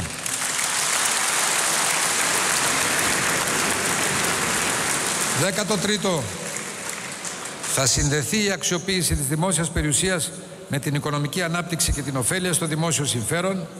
Δέκατο τέταρτο θα ε, εξορθολογιστεί η οργάνωση και η λειτουργία των ανεξάρτητων αρχών. Και δέκατο πέμπτο, θα υπάρχει ρητή πρόβλεψη στο Σύνταγμα για προστασία της ελληνικής ταυτότητας και της ελληνικής γλώσσας μας. Αυτά είναι μερικά από τα πιο σημαντικά σημεία μιας μεγάλης συνταγματικής μεταρρύθμισης που εδώ και ένα χρόνο έχουμε διατυπώσει. Όπως και τα άλλα τα οποία προτείναμε φίλες και φίλοι. Δεν τα θυμηθήκαμε από αυτό το βήμα τελευταία στιγμή, πως κάνουν άλλοι. Δεν τα θυμηθήκαμε στο παραπέντε των εκλογών. Τα επεξεργαστήκαμε. Τα ζητήματα αυτά για το Σύνταγμα τα βγάλαμε σε ελεύθερη διαβούλευση στο ίντερνετ. Εδώ και πάνω από ένα εξάμεινο. Η επιδίωξή μας είναι να διακριθούν πλήρως οι τρεις εξουσίες μεταξύ τους. Εκτελεστική, νομοθετική, δικαστική. Να δημιουργηθούν μηχανισμοί ισορροπίας μεταξύ τους, να ενισχυθεί η δυνατότητα προσφυγής σε δημοψήφισμα, να επιβληθεί διαφάνεια στα οικονομικά των κομμάτων, στη σταδιοδρομία των βουλευτών και πάνω απ' όλα να μην καταντήσουμε να έχουμε Βουλή Λόρδων ή Βουλή Ανεπάγγελτων ή κυβέρνηση κομματαρχών, ούτε πολιτικό προσωπικό εξαρτημένο από τη διαπλοκή. Αυτό να το θυμούνται και το μήνυμα πάει σε όλους. Αυτά τα οποία προτείνει η παράταξη σήμερα συνιστούν πραγματική ανατροπή. Συνιστούν επανάσταση. Όχι βίαιη. Αληθινή επανάσταση. Μόνο με τέτοιες επαναστάσεις μπορεί να αλλάξουν σελίδες οι λαοί. Να γυρίσουν τη σελίδα τους. Και αυτό είναι το σχέδιό μας συνολικά. Σας το είπα και προχθές, τα αλλάζουμε όλα. Αλλά τα αλλάζουμε χωρίς να διαλύουμε το δημοκρατικό μας πολίτευμα. Χωρίς να ισοπεδώνουμε τη χώρα. Τα αλλάζουμε για να δώσουμε ελπίδα, για να δώσουμε προοπτική στον ελληνικό λαό. Όχι για να το βυθίσουμε σε μεγαλύτερη αβεβαιότητα. Δεν πάμε να τον διχάσουμε, να τον ενώσουμε πάμε. Τα αλλάζουμε για να διασφαλίσουμε την ευρωπαϊκή μας θέση να διευρύνουμε το ρόλο της Ελλάδας στην Ευρώπη. Όχι να βοηθήσουμε όσους θέλουν να βγάλουν την Ελλάδα από την Ευρώπη. Τα αλλάζουμε όλα για να ξαναπάρουμε τη μοίρα μας στα χέρια μας. Για να ανακτήσουμε την κυριαρχία μας. Όχι για να βυθιστούμε σε μια κρίση εσωτερική από την οποία αναλύμωνο τότε είναι που θα χάσουμε την κυριαρχία μας. Η Ελλάδα περνάει ώρες δύσκολες. Οι Έλληνες περνάνε στιγμές και όλοι δοκιμάζονται. Η κοινωνική συνοχή πρώτη εκείνη δοκιμάζεται. Δέστε τι συμβαίνει γύρω μας. Υπάρχουν μοιραία ασφάλματα που μας έφεραν ως εδώ. Υπάρχουν εκείνοι που εκπροσωπούν αυτά τα ασφάλματα. Υπάρχουν και εκείνοι που καταγγέλουν ένα τον άλλον για να υπάρξουν πολιτικά μόνο και μόνο για να εκμεταλλευτούν την απόγνωση, τη δυστυχία, να τζοράρουν, να, να τζογάρουν πάνω στην απελπισία του ελληνικού λαού. Υπάρχουν και εκείνοι που μας έσωσαν πολλές φορές τα τελευταία δύο χρόνια και τώρα απλά προσπαθούν να διασωθούν οι ίδιοι. Υπάρχουν εκείνοι που απειλούν να σώσουν τη χώρα παίζοντας με την ευρωπαϊκή της ταυτότητα. Εγώ σε αυτό το καυγά δεν θέλω να μπω. Με ενδιαφέρει μόνο πώς θα βγούμε από την κρίση. Με ενδιαφέρει από την πρώτη στιγμή μόνο η ανάπτυξη που χρειάζεται πολιτική σταθερότητα, όχι στασιμότητα, σταθερότητα που σημαίνει ισχυρή εντολή από το λαό και σχέδιο από τη νέα κυβέρνηση για να τα αλλάξουμε όλα. Σχέδιο λοιπόν έχουμε ήδη καταθέσει και για την οικονομία και για το πολίτευμα και για τις διαρθρωτικές μεγάλες αλλαγές και για όλους τους μείζονες τομείς του δημόσιου βίου της χώρας. Τώρα δεν μένει φίλες και φίλοι παρά να δούμε αν ο λαός θα διαλέξει ότι το αποδέχεται. Ασφαλώς για την εφαρμογή αυτού του σχεδίου. Απευθύνομαι σε όλους. Χρειάζεται συνένεση όλων. Εμείς ως αντιπολίτευση και συνέβη για πρώτη φορά αυτό στην Ελλάδα. Στηρίξαμε ότι ήταν σωστό. Αυτή την υπευθυνότητα την περιμένουμε από όλους και από μεθαύριο, ως κυβέρνηση. Αλλά πέρα από τη συνένεση όλων, κάποιος είναι που πρέπει να παίρνει και τις αποφάσεις, ιδιαίτερα τις δύσκολες, γιατί αλλιώς τίποτα δεν πρόκειται να εφαρμοστεί ή δεν θα εφαρμοστούν τα μισά από εκείνα που πρέπει να γίνουν. Δεν με ενδιαφέρει να μοιράζονται υπουργεία με άλλα κόμματα χωρίς να μπορώ να εφαρμόσω αυτό το σχέδιο που θα μας βγάλει από την κρίση. Δεν θέλω τη στασιμότητα. Σταθερότητα χρειαζόμαστε για να αλλάξουμε αυτά που πρέπει να αλλάξουμε, να πιάσουμε τους στόχους μας, να βγούμε από την κρίση, να βγούμε από τη μέγενη του μνημονίου, να βγούμε και από την ύφεση, να μπούμε στο δρόμο της ανάπτυξης. Το είπα πριν λίγες μέρες από εδώ, η Ελλάδα είναι μια χώρα πλούσια, που την κατάντησαν υπερχρεωμένη. Και τα επόμενα δύο χρόνια θα είναι τα πιο δύσκολα. Τα επόμενα δύο χρόνια είναι που κυρίως χρειαζόμαστε σταθερότητα και σχέδιο. Σας κατέθεσα ένα σχέδιο ολοκληρωμένο για το τι θα αλλάξουμε για την οικονομία, για το τι θα αλλάξουμε για την πολιτική διακυβέρνηση, πώς θα κλείσουμε τους λογαριασμούς μας με το χθες, πώς θα γυρίσουμε τη σελίδα και να κάνουμε ένα μεγάλο άλμα προς το αύριο. Την άλλη Κυριακή, το λόγο τον έχει πια ο ελληνικός λαός. Τη σταθερότητα εκείνος θα τη δώσει με την ψήφο του. Εγώ όφιλα να σας πω και το είπα περίφραστα. Δεν θέλω να συγκυβερνήσω με το χθες. Θέλω η πατρίδα μου να φύγει μπροστά προς το αύριο. Δεν θέλω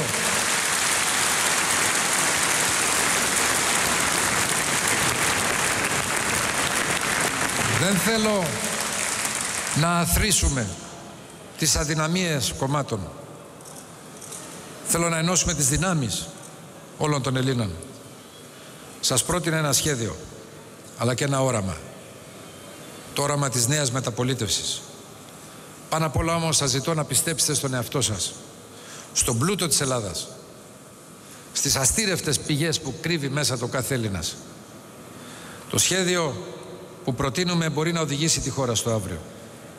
Το όραμα που προτείνουμε μπορεί να ενώσει τους Έλληνες. Και όταν οι Έλληνες ενωθούν και πιστέψουν στον εαυτό τους, τότε κάνουν θαύματα. Αυτή είναι αν θέλετε και η αιμονή μου. Η Ελλάδα πάνω απ' όλα. Όσοι έχετε την ίδια αιμονή και βάζετε την Ελλάδα πάνω απ' όλα, ελάτε να τα αλλάξουμε όλα. Και ελάτε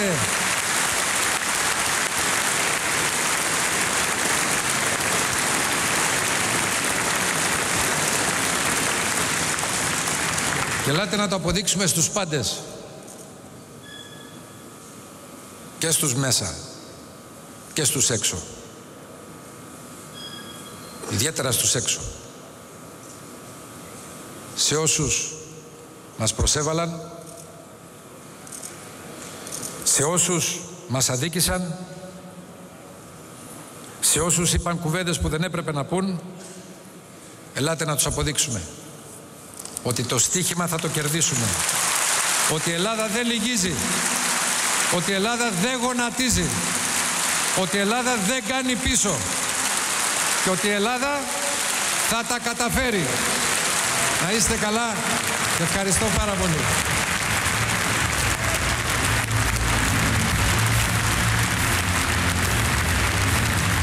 Επιστρέφουμε λοιπόν σε λίγο μετά τις διαφημίσεις για να συζητήσουμε και τα όσα είπε ο κύριος Σαμαράς, να τα σχολιάσουμε δηλαδή με τους καλεσμένους μας, αλλά να δούμε και τι γίνεται με τα υπόλοιπα θέματα.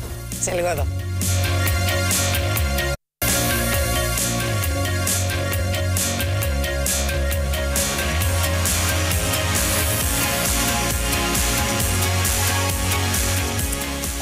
Και πάλι μετά τις διαφημίσεις ο Γιάννης ο Τζούρνος ο συντάκτης μας είναι στην αίθουσα ειδήσεων για να κάνουμε μια ε, περίληψη των όσων είπε ο κύριος Σαμπαράς Γιάννη. Να δούμε τα σημαντικότερα σημεία. Λοιπόν, μια ομιλία του κυρίου Σαμαρά, την οποία Πόπη θα τη χώριζα σε τέσσερις άξονες. Ο κύριος Σαμαρά μίλησε για την ασφάλεια των ε, πολιτών, για το ζήτημα της ε, λαθρομετανάστευσης, αναφέρθηκε εκτενέστατα στην ε, δικαιοσύνη και το ρόλο της και βέβαια μίλησε και για την αναθεώρηση του συντάγματος. Για την αστυνόμευση και για την ασφάλεια των πολιτών, ο κύριος Σαμαράς επανέλαβε για ακόμη μία φορά ότι θα βγάλει τις κουκούλες από τους κουκουλοφόρους, ότι θα υπάρξουν νομοθετικές ρυθμίσεις που θα είναι πολύ πιο αυστηρές για όσους προκαλούν τέτοια επεισόδια. Έκανε λόγο για ενεργοποίηση ε, των καμερών ε, ασφαλείας και μάλιστα είπε ότι θα διώκονται ποινικά εκείνοι οι οποίοι καταστρέφουν κάτι τέτοιο. Ακόμη είπε ότι θα χρησιμοποιούνται και οι υδροφόρες από την ε, αστυνομία έτσι ώστε να μην κινδυνεύει κανείς. Αυτό σε ό,τι αφορά την ασφάλεια των πολιτών. Σε ό,τι αφορά την λαθρομετανάστευση, ο κύριος Σαμαράς είπε για ακόμη μία φορά ότι πρέπει να αντιμετωπιστεί αυτό το φαινόμενο. Πρότεινε ή μάλλον ε, δεσμεύτηκε για την κατάργηση του νόμου Ραγκούση. Είναι ο νόμος για την ηθαγένεια. Ο κύριος Σαμαράς υποστηρίζει ότι θα πρέπει να είναι πολύ αυστηρότερα, πολύ αυστηρότερα να μπαίνει κάποιος και να γίνεται να αποκτά την ελληνική ηθαγένεια, έτσι όπως γίνεται και σε όλες τις υπόλοιπες ε, ευρωπαϊκές χώρες. Μίλησε για τα κέντρα φιλοξενίας των ε, μεταναστών και βέβαια για την φύλαξη των συνόρων μας. Μάλιστα, εκεί είπε ότι θα μπορέσουν να υπάρχουν ε, ενδεχομένως και άλλες δυνάμεις από ευρωπαϊκές χώρες, έτσι ώστε να δείξουμε ότι τα σύνορα της Ελλάδος είναι και ευρωπαϊκά σύνορα. Περνάμε στο κομμάτι της ε, δικαιοσύνης. Εκεί ο κύριος Σαμαράς ε, έκανε λόγο για ισονομία προς, ε, για όλους. μίλησε ότι η δικαιοσύνη θα είναι προτεραιότητα της Νέας Δημοκρατίας και ανέφερε ένα χαρακτηριστικό παράδειγμα με τις λιμουζίνες των βουλευτών και τα βουλευτικά αυτοκίνητα, λέγοντας ότι θα πρέπει το όργανο της τάξης να μπορεί να δίνει με την ίδια ευκολία κλίση σε μία λιμουζίνα υπουργού, χωρίς να ακούει το ερώτημα Ξέρεις ποιος είμαι εγώ, την απάντηση Ξέρεις ποιος είμαι εγώ, ε, να τη δίνει με την ίδια ευκολία που τη δίνει και σε ένα χιλιάρι αυτοκίνητο. Και βέβαια μίλησε και για την ε, αναθεώρηση του συντάγματος. Άλλωστε, η Νέα Δημοκρατία έχει θέσει σε διαβούλευση 31 προτάσεις συγκεκριμένες για την αναθεώρηση του συντάγματος. Βέβαια, μέσα σε αυτές και ο νόμος περί ευθύνης υπουργών και η ασυλία των ε, βουλευτών ε, και τα προνόμια, αλλά και η εκλογή του Προέδρου της Δημοκρατίας. Και η μείωση του αριθμού των βουλευτών. Και η μείωση του αριθμού των βουλευτών. Θα ευχαριστήσουμε πολύ, Γιάννη Τζούρνο, για το ρεπορτάζ σου. Να έρθω να σας ρωτήσω, κύριε Σπυρίδων, γιατί χρειάζεται να αναθεωρηθεί το Σύνταγμα για να αλλάξει ο αριθμός των βουλευτών; Να κάνω Γιατί μια δηλαδή συνεχώς μας λέτε ότι θα μειώσετε τον αριθμό των βουλευτών και το Πασόκ και η Νέα Δημοκρατία και δεν το κάνετε. Δεν χρειάζεται να θεωρήσει συντάγματος για να μειωθεί ο αριθμός των βουλευτών. Κύριε Τσαπανίδη, λίγο. Να κάνω ναι. μια παρένθεση όμως. Παρακαλώ. Για να αποκασίσει την αλήθεια. Mm -hmm. Δεν θα αποτανθώ στον κύριο Κικέρογλου με το χαρακτηρισμό που απαιτάνθη σε μένα ότι έλεγα ψέματα, αλλά σας λέω με τα βεβαιότητος ότι από την 1η Απριλίου η ιατροφαρμακευτικά ο οίκος του ναύτου ανήκει στο ΕΟΠΗ. Και διασταυρώστε το. Σταματάω εκεί και θα προτιμούσα άλλη φορά. 1η Απριλίου. Από 1η Απριλίου. 1η Τετάρτου. Καπετά... Ο καπετάνιος από 1η Τετάρτου. Από μέσα Τετάρτου. Λοιπόν, ε, θα προτιμούσα λοιπόν όταν δεν μας πλήρωσε ενημερωμένοι να είμαστε φιδωλοί στις εκφράσεις μας. Από την άλλη πλευρά, ε, ο Αντώνιος Σαμαράς, κλείνοντας σήμερα το μοντέλο διακυβέρνησης, θες μιλήσεις για οικονομικά, σημαίνει η ιδεολογία του κράτους, νομίζω ότι ε, έδωσε στον ελληνικό να καταλάβει ότι η Νέα Δημοκρατία είναι μια δύναμη σταθερότητα. Ότι είμαστε έτοιμοι να συγκροστούμε με συντεχνίες, με πλατειακές λογικές, με ό,τι έφερε τη χώρα στο σημείο που είναι σήμερα. Όπως επίσης είμαστε έτοιμοι να συμμαχίσουμε με δυνάμεις Ευρώπης, ώστε η Ευρώπη να αποκτήσει το όραμα που ενεπνεύστηκαν κάποτε για να δημιουργηθεί αυτή η Ενωμένη Ευρώπη, δηλαδή να υπάρξει συνοχή των πολιτών σε όλα τα κράτη που την αποτελούν, καθώς επίσης να αξιοποιήσουμε και την σημαντική γεωπολιτική μας θέση και τον ανοιχτό πλούτο που έχουμε κάτω από τα πόδια μας. Αλλαγές θα γίνουν πολλές, όπως αυτή που είπατε για τη μείωση των βουλευτών, όπως ε, η αναθεώρηση του ό,τι έχει σχέση με την ε, υπουργών νομοθεσία, όπως το ό,τι έχει σχέση με την ασυλία των βουλευτών και πολλές άλλες που περιγράφονται στις διακηρύξεις Νέας Δημοκρατίας εδώ και αρκετό καιρό και είναι περίπου 32 αν δεν κάνω λάθος. Μάλιστα. Κύριε Κεγκέρογλου, πώς ακούσατε εσείς τα όσα είπε ο Σαμαράς; Καταρχήν, ε, για αυτό που είπε ο κ. Σπυρίδων προηγουμένως, για να λήξει, την τελευταία μέρα που λειτουργούσε η Βουλή ψηφίστηκε τροπολογία που αφορά το συγκεκριμένο θέμα. Είναι πλέον στο... Δεν αφορά πλέον... ιατροφαρμακευτικά, δεν δίνω περαιτέρω ναι, ναι, έκθεση. Να, ολοκληρώσω. Ναι. Είναι πλέον στο, στο Διοικητικό Συμβούλιο η ευθύνη προκειμένου να αποφασίσει αν θα παραμείνει ή αν θα α, συγχωνευτεί με τον ΕΟΠΗ. Έρχομαι στα όσα είπε ο κ. Σαμαράς. Πιστεύω ότι είναι ε, με άλλα λόγια αυτά τα οποία έχουν προταθεί και από άλλα κόμματα ε, προσπάθησε να προσεγγίσει διάφορες κοινωνικές ομάδες ε, λέγοντάς τους αυτά που θέλουν να ακούσουν με άλλα λόγια. Είχε και προτάσεις θετικές μέσα, ουσιαστικές, σε αυτό που είπε, τις οποίες έχουμε καταθέσει ήδη εμείς, όμως δεν αποτελούν έτσι αποσπασματικά ε, ένα ενιαίο σχέδιο. Για το θέμα το οποίο αφορά το Σύνταγμα, εάν έχουμε την πολιτική βούληση να χαμηλώσουμε τον αριθμό των βουλευτών στους 200, πράγμα το οποίο εγγράφως έχει προταθεί από εμένα και άλλους 8 συναδέλφους από το 2007, Αυτό είναι θέμα νομικής διάταξης και δεν έχει καμία σχέση με το Σύνταγμα. Γιατί δεν το έχετε κάνει αλήθεια Όπως τόσο καιρό; Γιατί δεν έχετε ρίξει τον αριθμό των βουλευτών στους 200. Το, το συγκεντρωτικό ισχυρό δηλαδή, κράτο. Όλοι λέτε ότι θέλετε να το κάνετε. Θα σας πω. Και στην πράξη δεν το κάνει κανένα. Θα σας πω. Το συγκεντρωτικό Γίνεται ισχυρό... λιγότεροι από αύριο. Το συγκεντρωτικό ισχυρό κράτος άρχισε τα τελευταία χρόνια με την αποκέντρωση να μειώνεται. Πλέον είναι και ανάγκη να γίνει αυτό και για το νομοθετικό σώμα και για τα Υπουργεία. Έτσι λοιπόν, σε αυτό το θέμα πιστεύω ότι θα. Όχι μόνο σε αυτό, σε πάρα πολλά άλλα θέματα υπάρχει ανάγκη για συνεννόηση και άμεση απόφαση, όπως επίσης και για τα ζητήματα που πρέπει να απασχολήσουν τη χώρα από τις 7 Μαΐ και μετά. Μπορείτε, κύριε Σπυρίδο, να συνεργαστείτε με το Πασόκ μετά τις εκλογές; Καταρχάς, κύριε Τσαπανίδη. Ναι, ο στόχος σας είναι η αυτοδυναμία. Είναι γνωστό αυτό. Σε περίπτωση μη αυτοδυναμίας, θα, μπορέσετε να βρείτε κοινά σημεία. Όσον αφορά τα μικρά τα δικούμε, λέγοντάς τα έτσι, παλιά και νέα κόμματα, δεν συμφωνεί το ένα με το άλλο.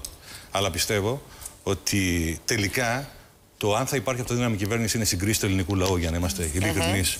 Αλλά να είσαι σίγουροι ότι αν υπάρχει οποιαδήποτε μορφή συγκυβέρνησης θα είναι αδύναμη, δεν θα, δεν θα προχωρήσουν στις αλλαγές που έχει ανάγκη η χώρα. Όταν ε, το ένα μέρος προτείνει κάποια αλλαγή που θα θίξει κάποια συντεχνία, το άλλο θα του κλείνει το μάτι. Πάντως η Νέα Δημοκρατία πρότεινε δηλαδή. και στο παρελθόν και επί Καραμαλή ζητούσε από το Πασόκ συνένεση ώστε να γίνουν πράγματα. Είναι τελείως διαφορετική η συγκυβέρνηση από μια πολιτική που θα ασκήσει η Νέα Δημοκρατία, που θα, απο, θα αποτελείται από τη σύνθεση των Μάλιστα. απόψεων, η οποία θα έχει αποδοχή στα ευρύτερα κοινωνικά στρώματα. Είναι τελείως διαφορετικό το ένα με το άλλο. Εμείς αυτή τη άποψη είμαστε και πιστεύουμε Μάλιστα. ότι ο λαό θα αποφασίσει να έχει μια ισχυρή κυβέρνηση μεθαύριο. Να πάω στην κυρία Κωνσταντοπούλου που εκπροσωπεί το ΣΥΡΙΖΑ. Να μου πείτε, κυρία Κωνσταντοπούλου, αν με τη Νέα Δημοκρατία θα μπορούσατε να συνεργαστείτε μετά τις εκλογές, άμα δεν υπάρξει αυτοδυναμία δηλαδή, και ζητήσει συνεργασία για να σχηματίσει κυβέρνηση. Κυρία Τσαπανίδου, εμείς είμαστε σαφείς, δεν θα συνεργαστούμε με κανέναν από εκείνους που έχουν υπογράψει το μνημόνιο και που, επι, ε, που επιθυμούν και επιδιώκουν την ε, διατήρηση της χώρας μας κάτω από το καθεστώς του μνημονίου. Είναι δε εντυπωσιακό γιατί παρακολούθησα και την προηγούμενη συζήτηση που είχατε με την κυρία Γεννηματά ότι πια και το Πασόκ αρχίζει να μιλάει για λόγους προεκλογικούς βέβαια για ε, κατάργηση του μνημονίου. Είναι βέβαια ε, υποκριτικό. Ήθελα αν μου επιτρέπετε... κατάργηση, ζητούν να γίνει λίγο πιο ελαστικό στο χρόνο του. Ένα έξτρα, μια έξτρα διετία θέλουν. 38 χρόνια νομίζω ότι ήταν αρκετά ε, ας δώσουμε την ευκαιρία σε άλλες πολιτικές δυνάμεις. Άρα δεν συνεργάζεστε. Πασόκ, Νέα Δημοκρατία δεν τους βλέπετε να, για συνεργασία στο Όχι και θα ήθελα, αν μου δώσετε το χρόνο, δεν ξέρω ποιο είναι το περιθώριο που έχουμε, θα ήθελα όμως να πω ε, κάποιες παρατηρήσεις για αυτά που άκουσα από τον κύριο Σαμαρά.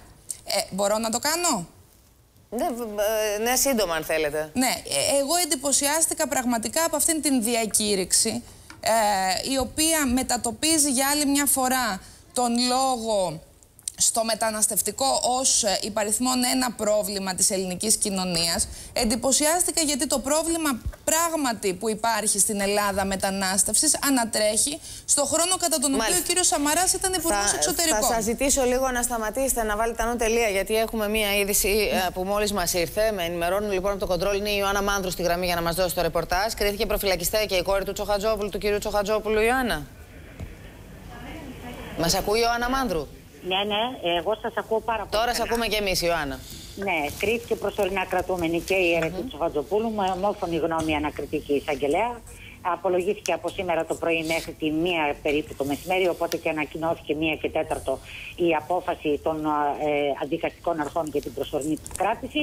Η ίδια προσερχόμενη στο, στο ανακριτικό γραφείο αρνήθηκε ότι έχει σχέση με αυτές τις εταιρείες πλυντήρια από τις οποίες έρεε το πολιτικό χρήμα κατά το κατηγορητήριο και τη δικογραφία και είπε ότι τα ακίνητα τα οποία είναι στην ιδιοκτησία της ε, έχουν νομίμως αποκτηθεί και έχουν φορολογηθεί. Ειδικώ μίλησε για το ακίνητο της οδού Δίνο Κράτου. Πρέπει να σου πω το κατηγορητήριο κατά της αρετή του Σοχαντοπούλου ήταν βαρύ και για την μεγάλη ακίνητη περιουσία η οποία εντοπίστηκε να είναι στην ιδιοκτησία της και επιπλέον ε, ε, για το γεγονός ότι είχε λάβει μετά το 2008 και έως το 2009 ε, με, ε, μεγάλων χρηματικών ποσών δάνεια από συγκεκριμένη τράπεζα τα οποία κατά την ε, εισαγγελία και τις δικαστικές αρχές ε, πρέπει να ερευνηθούν περαιτέρω για το αν αποπληρώθηκαν και αν είχαν εξασφαλιστεί οι εγγύησεις της τράπεζας, της τράπεζας προκειμένου να δοθούν τα δάνεια αυτά. Ε, στη συνέχεια απολογούνται και άλλοι βέβαια σε αυτή την υπόθεση. Είναι ο αδελφός της κυρίας Σταμάτης Παναγιώτης, ο οποίος απολογείται σήμερα. Μία θεία της, το λογαριασμό της οποίας βρέθηκε ένα ποσό τριών εκατομμύριων. Ε, και μία δικηγόρος, η Ταλίτα Τσεκούρα, για να έρθει ε, να κλείσει ως σήμερα ο κύκλος των απολογιών και να συνεχιστεί αύριο με την απολογία της συζύγου του πρώην Υπουργού, της κυρίας Βασιλικής Σταμάτης. Μάλιστα, Ιωάννα, να σε ευχαριστήσουμε πάρα πολύ. Κύριε Κεγκέρο, ένα σύντομο σχόλιο θέλετε να κάνετε γι' αυτό; Βεβαίως. Για να αποκαλυφθεί ένα σκάνδαλο, προπόθεση είναι για πολιτικά πρόσωπα να παραπεμφθεί στη δικαιοσύνη. Όταν ήρθε λοιπόν το πόρισμα της Επιτροπής για τον Άκη Τσοχατζόπουλο στη Βουλή, όλα τα κόμματα ή σχεδόν όλα ήρθαν και ψήφισαν και με μεγάλη πλειοψηφία πάνω από 200 πήγαν τα ζητήματα αυτά στη δικαιοσύνη και έχουμε την εξέλιξη που έχουμε που πρέπει να ολοκληρωθεί. Όταν ήρθαν όμως τα πορίσματα των άλλων επιτροπών για το Ρουσόπουλο, το Βουλγαράκι, το Μαρκογιαννάκη και τους λοιπούς δεν ήρθαν τα άλλα κόμματα να ψηφίσουν, απήχαν ή ψήφισαν αρνητικά και 16 βουλευτές του ΠΑΣΟΚ, άλλοι έλειπαν και άλλοι δεν ψήφισαν, με αποτέλεσμα να μην παραπευθούν οι υπόλοιποι. Και ναι, μεν βλέπει ο κόσμος ότι ό,τι πάει στη δικαιοσύνη προχωρά, επεξεργάζεται και θα βγάλει αποτέλεσμα, αλλά μείναν και κάποιοι στη σκιά της γκρίζα ζώνης, δεν τους παραπέμψαμε γιατί δεν είχε το θάρρος το πολιτικό σύστημα να τους στείλει όλους. Αυτό αναδεικνύει την ανάγκη, να πω μια κουβέντα για αυτά που είπε ναι. ο κ. Σαμαράς, να καταργηθεί η ψηφοφορία στη Βουλή, να πηγαίνουν κατευθείαν τα απορίσματα των επιτροπών στη δικαιοσύνη, προκειμένου Μάλιστα, να μην υπάρχει ανάγκη. Επιτρέψτε μου να μην σχολιάσω νομικίστικα ή πολιτικά τερτύπια. Εγώ με τι άποψει ότι όλα αυτά τα φαινόμενα θα εκλείψουν όταν υπάρχουν ισχυροί θεσμοί. Αντίστοιχες πράξεις, αν έκανε ο κ. Τζαχατζόπουλος σε ένα ευρωπαϊκό κράτος, σε ένα δυτικό κράτος, θα έχει συλληφθεί εδώ και πέντε χρόνια. Άρα λοιπόν ισχυρούς θεσμούς, ώστε στην Ελλάδα επιτέλους να βρίσκουμε τον αρμόδιο και τον υπεύθυνο. Κύριε. Καταλάβατε. Λοιπόν, σας ευχαριστώ πολύ. Κυρία Κωνσταντοπούλου, λυπάμαι που δεν ολοκληρώσατε τη σκέψη σας. Έχετε όμως ένα ελάχιστο χρόνο στη διάθεσή σας για να κλείστε τι, αυτό που μας λέγατε. Εκείνο που θα ήθελα να πω είναι επειδή έκανε και ο κύριος Σαμαράς μια εκτενή ε, αναφορά στη δικαιοσύνη. Τη δικαιοσύνη δεν μπορεί να την θυμόμαστε σε επίπεδο διακηρύξεων. Την δικαιοσύνη την έχουν κρατήσει χειραγωγούμενοι. Η δικαιοσύνη δυστυχώς είναι και παραταξιοποιημένη. Το γεγονός ότι ο κύριος Σαμαράς τοποθετεί επικεφαλής του ψηφοδελτίου επικρατείας έναν ενενεργεία δικαστή δεν είναι ενθαρρυντικό είναι οχληρό. Η δικαιοσύνη δεν μπορεί να είναι κομματική. Και ακόμη ακόμη όλα εκείνα τα οποία είπε και εξήγηλε για νομοθετικά μέτρα από το, τη δεκαετία του 90 ο συνασπισμός και ο ΣΥΡΙΖΑ ζητούν την αλλαγή του νόμου περί ευθύνης υπουργών. Έχουν γίνει, αρνούνται και η ΕΠΑΣΟΚ και η Νέα Δημοκρατία. Έχουν γίνει δύο αναθεωρήσεις του συντάγματος με συμπράτοντα τα κόμματα του Πασόκ και της Νέας Δημοκρατίας. Γιατί δεν τα κάναν όλα αυτά που τώρα υπόσχονται; Κύριε Διώγο, να έρθω και σε εσάς. Κοιτάξτε να δείτε, σήμερα δημοσιογραφικά θα σας πω κυρία Τσαπανίδη ότι είδα τον κύριο Σαμαρά επιτέλους να βάζει το, η Νέα Δημοκρατία ε, στα εκλογικά νούμερα που ε, του δίνουν οι δημοσκοπήσεις. Δηλαδή σε ένα μικρό, δεξιό, σχεδόν εθνολαϊκό κόμμα. Ε, σήμερα δυστυχώς άκουσα από τον αρχηγό της αξιωματικής αντιπολίτευσης ένα εμπόριο φόβου. Καταρχάς, να ξεκαθαρίσω κάτι και το λέω σε όλους τους τόνους. Λαθρέοι άνθρωποι δεν υπάρχουν. Πολύ σωστά. Το πρόβλημα της μετανάστευσης Της μετανάστευσης είναι σοβαρό. Αλλά λαθρέοι άνθρωποι δεν υπάρχουν. Ο κύριος Σαμαράς είπε τη, τη λέξη λαθρομετανάστευση δεν ξέρω πόσες φορές. Θα πω λοιπόν το εξής εγώ. Το δικό μου σχόλιο είναι το εξής. Η Νέα Δημοκρατία. Ε, μάλλον δεν είδα τον κύριο Καραμαλή στην, ε, σήμερα στο Ζάπιο. Κυβέρνηση από το 2004 μέχρι το 2009. Μετα, το πρόβλημα της μετανάστευσης υπήρχε και εκεί. Τον άκουσα να λέει ότι θα δώσει επιδόματα στους αστυνομικούς. Σωστά. πρέπει να δώσει και επιδόματα, να δώσει επιδόματα στους αστυνομικούς επιτέλους για να μην κάνει η Χρυσή Αυγή περιπολίες στον Άγιο Παντελεήμονα και να κάνει περιπολία η ελληνική αστυνομία. Ένα πράγμα μόνο για να. Να ολοκληρώσω. Να ναι. ολοκληρώσω, βεβαίως. Κοιτάξτε να δείτε. Το πρόβλημα, το κοινωνικό πρόβλημα της μετανάστευσης, το πρόβλημα της ασφάλειας, θα συμφωνήσω με τον κύριο Σαμαρά σε ένα πράγμα. Ότι δεν είναι ούτε δεξιό ούτε αριστερό. Λυπάμαι πάρα πολύ. Ο κύριος Σαμαράς το έχει κάνει πλέον ακροδεξιό. Μάλιστα. Λοιπόν, κυρία Κωνσταντοπούλου, κάτι τελευταίο. Είστε συνονόματι του Κωνσταντόπουλου ή κόρη; Έχει σημασία; Ρωτάω. Κόρη. Είναι πατέρας μου ο κύριος Μάλιστα. Να είστε καλά, σας ευχαριστώ πάρα πολύ. Το μήλο κάτω από τη μιλιά στην προκειμένη περίπτωση. Πάμε να σας ευχαριστήσω και εσάς που ήσασταν κοντά μας και καλή επιτυχία σε όλους να ευχηθώ.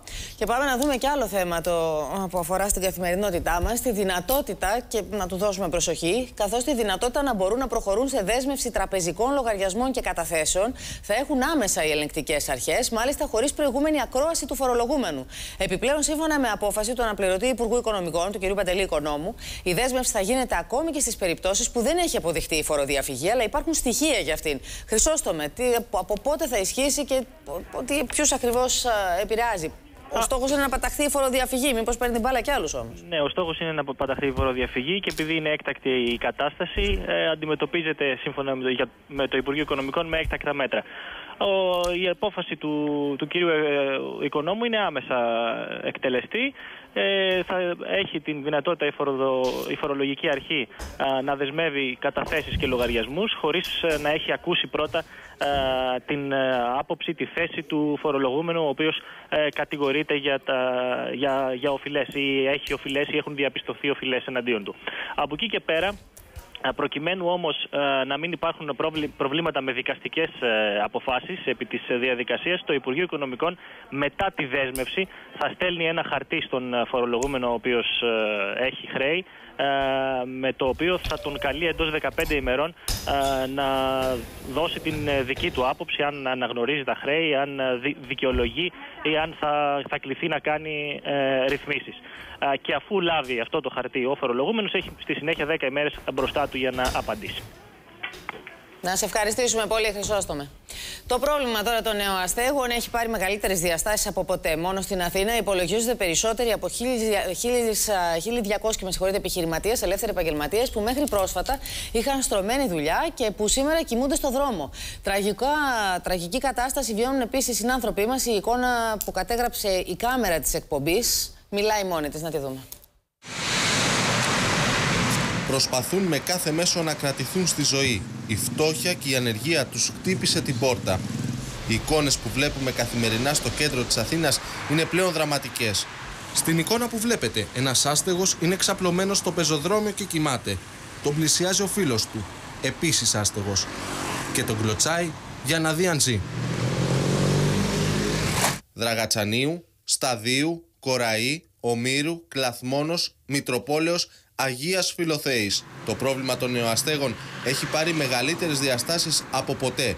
Χιλιάδες συνάνθρωποι μας αναγκάζονται να ζουν κάτω από συνθήκες που δεν μπορεί να φανταστεί ο νους.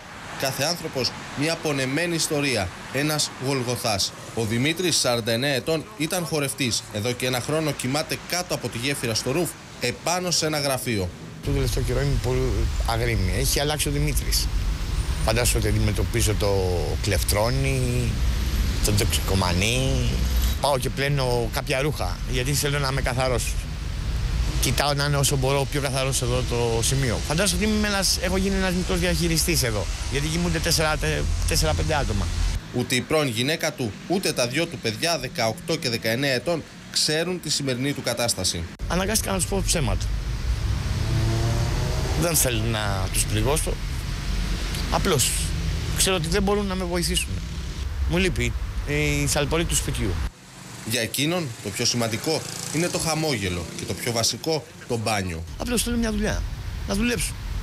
Και, και δεν βλέπω πουθενά φως. Για τον 60χρονο Γιώργο, τεχνικό υπολογιστών και μουσικό παραγωγό, όλα τελείωσαν το καλοκαίρι του 2011 κατέληξε να έχει σημαντικό οικονομικό πρόβλημα. Ξενίκιασε το σπίτι που έμενε και βρέθηκε στο δρόμο. Δεν είναι εύκολο να αποδεχτείς ότι από μια μεσοαστική κατάσταση που ζούσες να βρεθείς ξαφνικά, ας πούμε, να είσαι ένα παγκάκι. Δεν είναι καθόλου εύκολο. Για μένα την πρώτη βραδιά ήταν σχεδόν διασκεδαστικό. Αρρωστημένα διασκεδαστικό εννοώ. Γιατί κάθισα σε ένα παγκάκι σε ένα πάρκο, χάζευα γύρω-γύρω, άναψα ένα τσιγάρο, με χαζεύανε κι άλλοι. Ήταν και καλός ο καιρός, βοηθούσε. Είχα και κάτι να φάω μαζί μου και πέρασε η νύχτα έτσι. Βέβαια, ξημερώνοντας, αντιλαμβάνεσαι ότι αυτό θα είναι η ζωή σου από εδώ και πέρα και καταρρείς. Επισήμως, 1250 είναι οι άστεγοι που έχουν καταγραφεί στην Αθήνα από τις αρμόδιες υπηρεσίες του Δήμου με όλο και περισσότερο αυξητική διάσταση. Ένα στα 11 άτομα που ζουν στην Αθήνα έχουν ανάγκη να τραφούν από συσίτια. Σε 20.000 υπολογίζονται σήμερα οι άνθρωποι που κοιμούνται στο δρόμο σε όλη τη χώρα. Το φάσμα της φτώχειας εξαπλώνεται και το πρόβλημα των αστέγων είναι επίκαιρο όσο ποτέ. Συγκλονιστικό το ρεπορτάζ πραγματικά όπως και η διήγηση των αστέγων.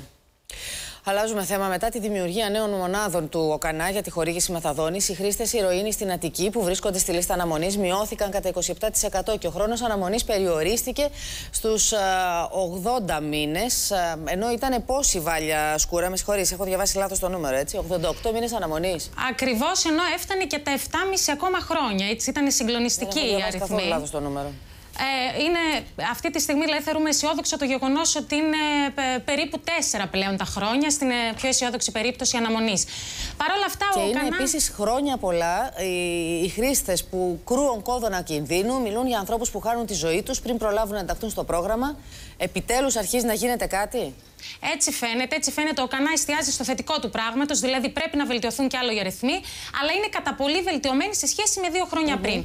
Μπορούμε να δούμε και στην κάρτα ποια είναι η κατάσταση. Δηλαδή, είχαμε, 50, είχαμε 25 μάλλον μονάδες πριν δύο χρόνια, έχουμε 54. Είχαμε άτομα στη θεραπεία 4.770 περίπου, έχουμε τώρα 7.500 περίπου, ενώ αυτοί που είναι σε αναμονή είναι περίπου η μισή σε σχέση με δύο χρόνια πριν. Είναι δηλαδή κάτι παραπάνω από 3.000 που φυσικά δεν είναι καθόλου αμεληταίος αριθμός σε κάθε περίπτωση.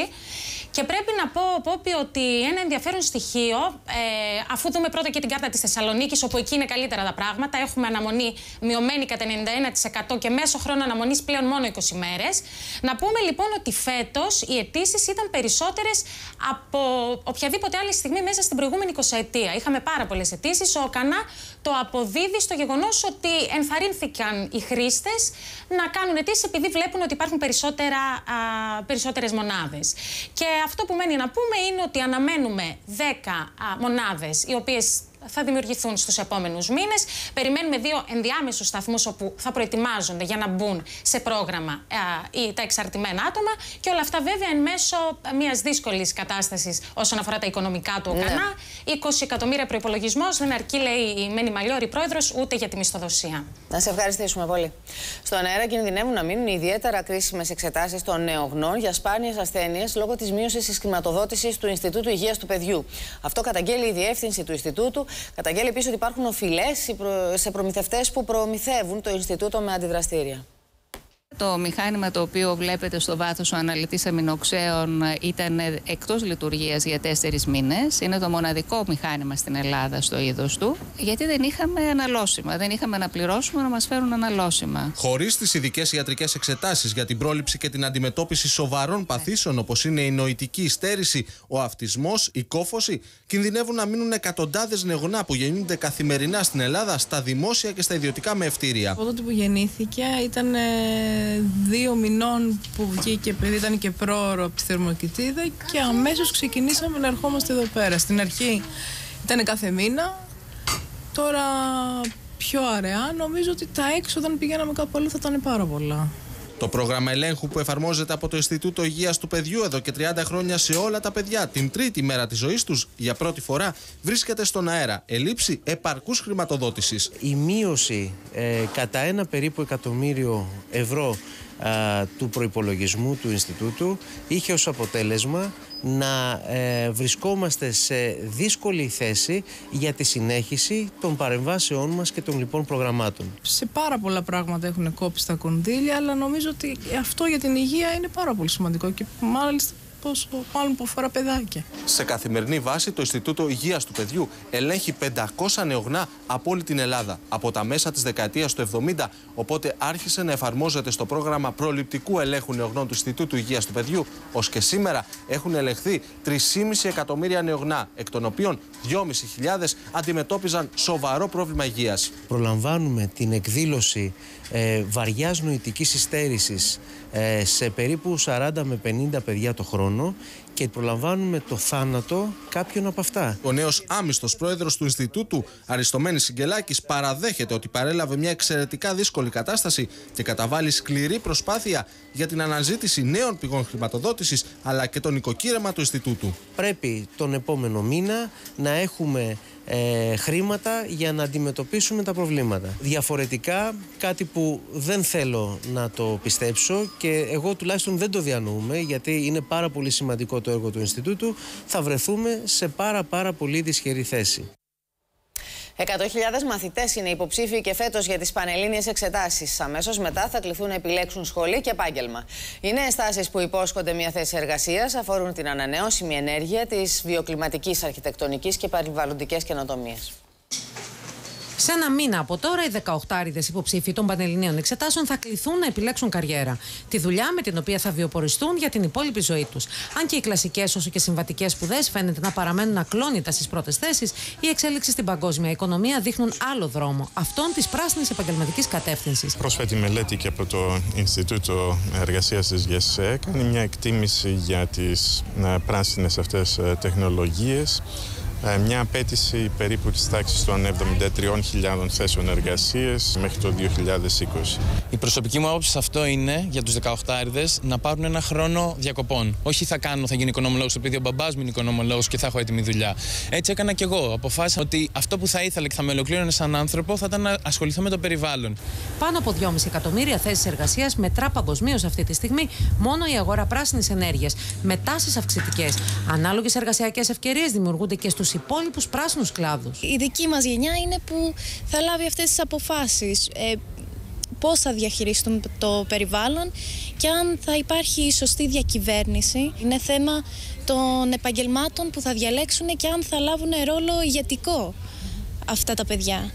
Για να ανταποκριθούν τα ελληνικά πανεπιστημιακά ιδρύματα στις νέες τάσεις, θα πρέπει να προχωρήσουν σε άμεσες προσαρμογές των εκπαιδευτικών αντικειμένων και προγραμμάτων. Σιγά σιγά και τα πανεπιστήμια αλλά και τα τεχνολογικά ιδρύματα, αλλά ακόμα και ε, σχολές επαγγελματικές προσανατολίζονται προς τέτοιου είδους ε, προγράμματα. Οπωσδήποτε η μέση εκπαίδευση έχει ένα κενό και θα ήταν καλό να είχαμε τεχνίτες ε, καλούς για να εφαρμόσουν όλα αυτά τα πράσινα συστήματα για να ενημερώσει αλλά και να μοιήσει το κοινό πάνω στην πράσινη ανάπτυξη και τις επαγγελματικές της προοπτικές, το Αμερικανικό Κολέγιο της Ελλάδας διοργάνωσε την Εβδομάδα Βιωσιμότητας. Ενώ έχει ιδρύσει εδώ και καιρό και το Κέντρο Βιωσιμότητας που υποστηρίζει τόσο το εκπαιδευτικό πρόγραμμα όσο και τις λειτουργίες του Πανεπιστημίου στα πρότυπα ξένων πανεπιστημίων που έχουν ήδη υιοθετήσει τέτοιες πρακτικές. Το κέντρο έχει σκοπό και να βοηθήσει το κολέγιο να γίνει ε, επιστημονικά να το υποστηρίξει, να γίνει ε, πιο περιβαλλοντικά φιλική η συμπεριφορά, η λειτουργία και παράλληλα να υποστηρίξει την εκπαίδευση να μπουν θέματα βιωσιμότητας μέσα στην τάξη. Το περιβάλλον μπορεί να αποτελέσει μοχλό για την ανάπτυξη της ελληνικής οικονομίας. Ωστόσο, μπορεί να γίνει και πηγή έμπνευσης για νέους καλλιτέχνες. Γιατί σε εποχή κρίσης, ένα νηφικό από πλαστικές μεμβράνες ή ένα φόρεμα από άχρηστα πλαστικά ποτήρια αποτελούν απόλυτα συμβατές όσο και πρωτοποριακές επιλογές. Θετικά είναι τα μηνύματα για την κρουαζιέρα μετά την απελευθέρωση του καμποτάζ, με τα πρώτα απτά αποτελέσματα όμως να αναμένονται από το 2014. Την ίδια ώρα στην ακτοπλοεία, όπου η εικόνα είναι εντελώς διαφορετική, τα νευτεργατικά σωματεία που πρόσκειται στην αριστερά αποφάσισαν 24 ώρη απεργία την Πρωτομαγιά κόντρα στην απόφαση της ποινιό για 4 ώρε στάση εργασίας.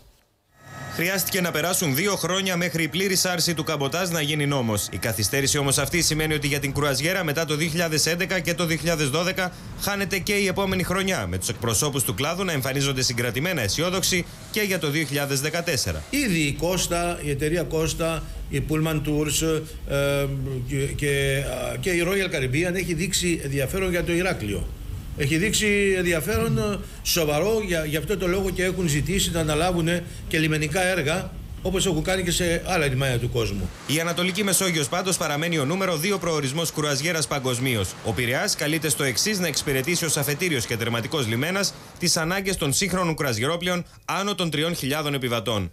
Μόνο φέτος αναμένονται στον Πειραιά 850 μεγάλα κουραζιερόπλια. Οι φορείς της κουραζιέρας επισημαίνουν ότι το στίχημα πλέον είναι οι λιμενικές υποδομές και η λειτουργία συστήματος κράτησης θέσης, ώστε οι εταιρείες να πραγματοποιούν έγκαιρα και με ασφάλεια τον προγραμματισμό τους. Με το berth allocation που λέμε, προγραμματίζουν ότι στον Πειραιά θα έρθουν πλοία που θα μεταφέρουν 20.000 επιβάτες και στη Σαντορίνη θα φτάσουν την ίδια μέρα πλοία που μπορούν να μεταφέρουν 5.000 επιβάτες.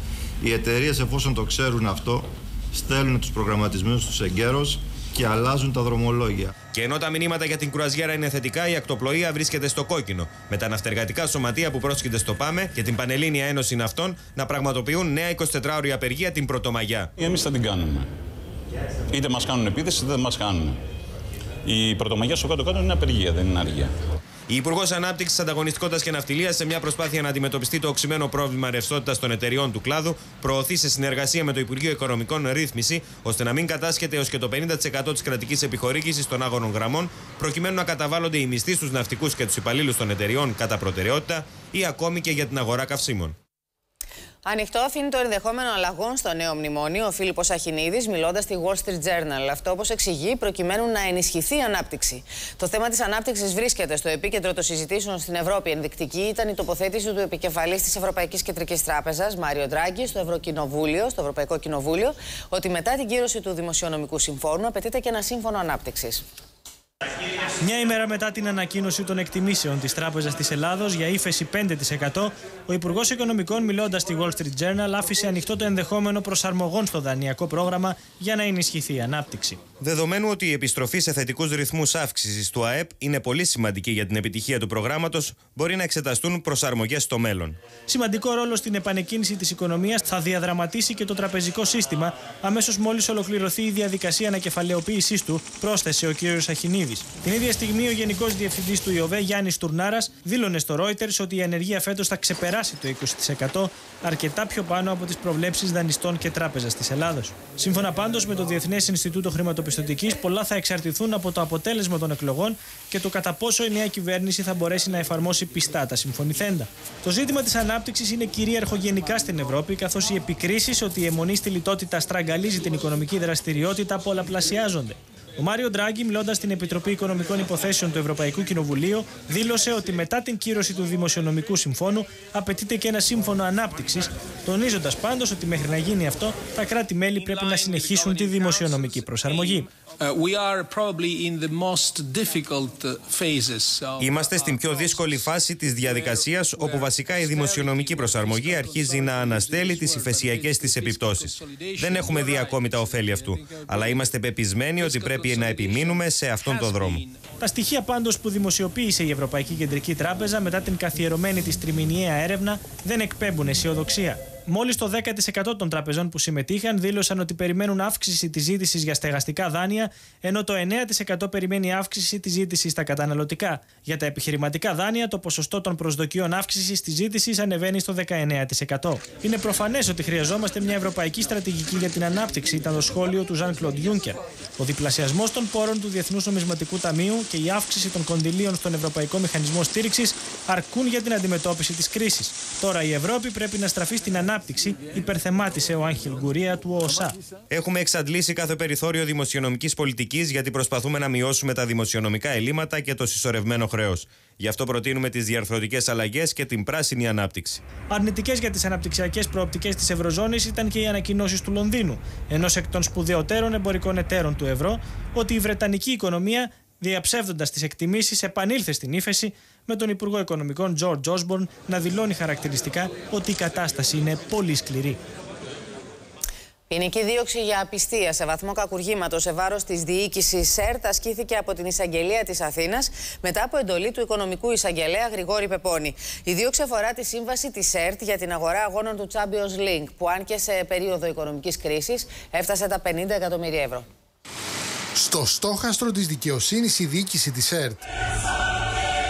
Ο οικονομικός εισαγγελέας Γρηγόρης Πεπώνης, μετά από πολύμηνη έρευνα, άσκησε δίωξη για το γεγονός ότι η διοίκηση του Ραδιομεγάρου προχώρησε με αδιαφανείς διαδικασίες σε σύμβαση 33 εκατομμυρίων ευρώ για το Champions League, την ώρα που η διαφημιστική δαπάνη στην αγορά βρίσκεται στα πιο χαμηλά επίπεδα όλων των εποχών. Την ίδια ώρα η δημόσια τηλεόραση, μη λαμβάνοντας υπόψη τα σημεία των καιρών, προχωρά και στη διεξαγωγή exit poll τη βραδιά των εκλογών. Σύμφωνα με πληροφορίες, η ΕΡΤ επιχειρεί να έρθει σε συμφωνία με δύο ιδιωτικούς σταθμούς προκειμένου το βράδυ των εκλογών να έχει τη δική της φυγμομέτρηση. Δεν αποκλείεται μάλιστα η συνεργασία και ενός ακόμα ιδιωτικού τηλεοπτικού καναλιού. Αγνοώντα την οικονομική κρίση, οι θύνοντες της ΕΡΤ αποφάσισαν να προχωρήσουν σε αυτή τη συνεργασία με το κάθε κανάλι να έχει στο στούντιο το δικό του αναλυτή για σχολιασμό του δημοσκοπικού αποτελέσματος λίγο πριν το Υπουργείο Εσωτερικών δώσει τα πρώτα επίσημα στοιχεία.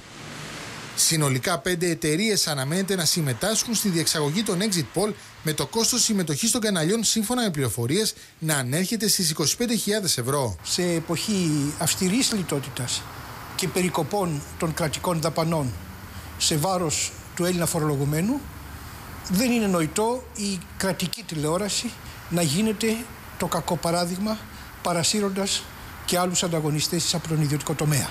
Όλα αυτά συμβαίνουν την ώρα που η δημόσια τηλεόραση προχωρά σε μια σειρά από αντικρουόμενες εξαγγελίες που φανερώνουν έλλειψη στρατηγικής. Παρά το γεγονός ότι πριν από μήνες ανακοινώθηκε το κλείσιμο ραδιοφωνικών σταθμών στα Μεσαία αλλά και τη Ετένα, οι τηλεθεατές είδαν να εγκαταλείπονται τα θεματικά ψηφιακά κανάλια που είχαν δημιουργηθεί. Και σαν να μην έφτανε αυτό, αντί αυτή η αλλαγή να επιφέρει μείωση του συνολικού αριθμού των σταθμών, εμφανίστηκαν περισσότερα κανάλια, καθώς στη θέση τους πήραν τέσσερα ξενόγλωσσα δορυφορικά δίκτυα. Μετά από όλα αυτά, το Διοικητικό Συμβούλιο της ΕΡΤ αποφασίζει τη συμμετοχή της δημόσιας τηλεόρασης στη διεξαγωγή Exit Poll παρά τις συνεχείς καταγγελίες της Νέας Δημοκρατίας ότι όλο το Διοικητικό Συμβούλιο θα έπρεπε να παραιτηθεί, καθώς την κυβέρνηση Πασόκ διαδέχτηκε η κυβέρνηση συνεργασίας του Λουκά Παπαδήμου. Καθαρισμός στι παραλίε Πεύκου και Ευκαλύπτων στο Λαγονίσι πραγματοποιείται την Κυριακή που μας έρχεται. Ο Γιώργος Κεραμιτζόγλου θα μας πει περισσότερα αμέσως τώρα από την αίθουσα ειδήσεων. Γιώργο. Έχουμε λοιπόν δράσεις με καθαρισμούς και αυτή την Κυριακή, 29 Απριλίου, μια εβδομάδα πριν από τις εθνικές εκλογές. Θα κάνουμε λοιπόν καθαρισμό στις παραλίες Ευκαλύπτων και Πεύκου στο Λαγονίσι. Εκεί θα συναντηθούμε για να καθαρίσουμε ώρα 10 το πρωί αυτή την Κυριακή. Επίσης θα έχουμε καθαρισμό. Θα πάμε να καθαρίσουμε στον Βύρονα, στο πάρκο Καραρολί και Δημητρίου με σημείο συνάντησης απέναντι από το Δημορχείο του Βύρονα. Επίσης θα κάνουμε την ίδια μέρα, Κυριακή 29 Απριλίου, καθαρισμό στην αρχαία Αθήνα.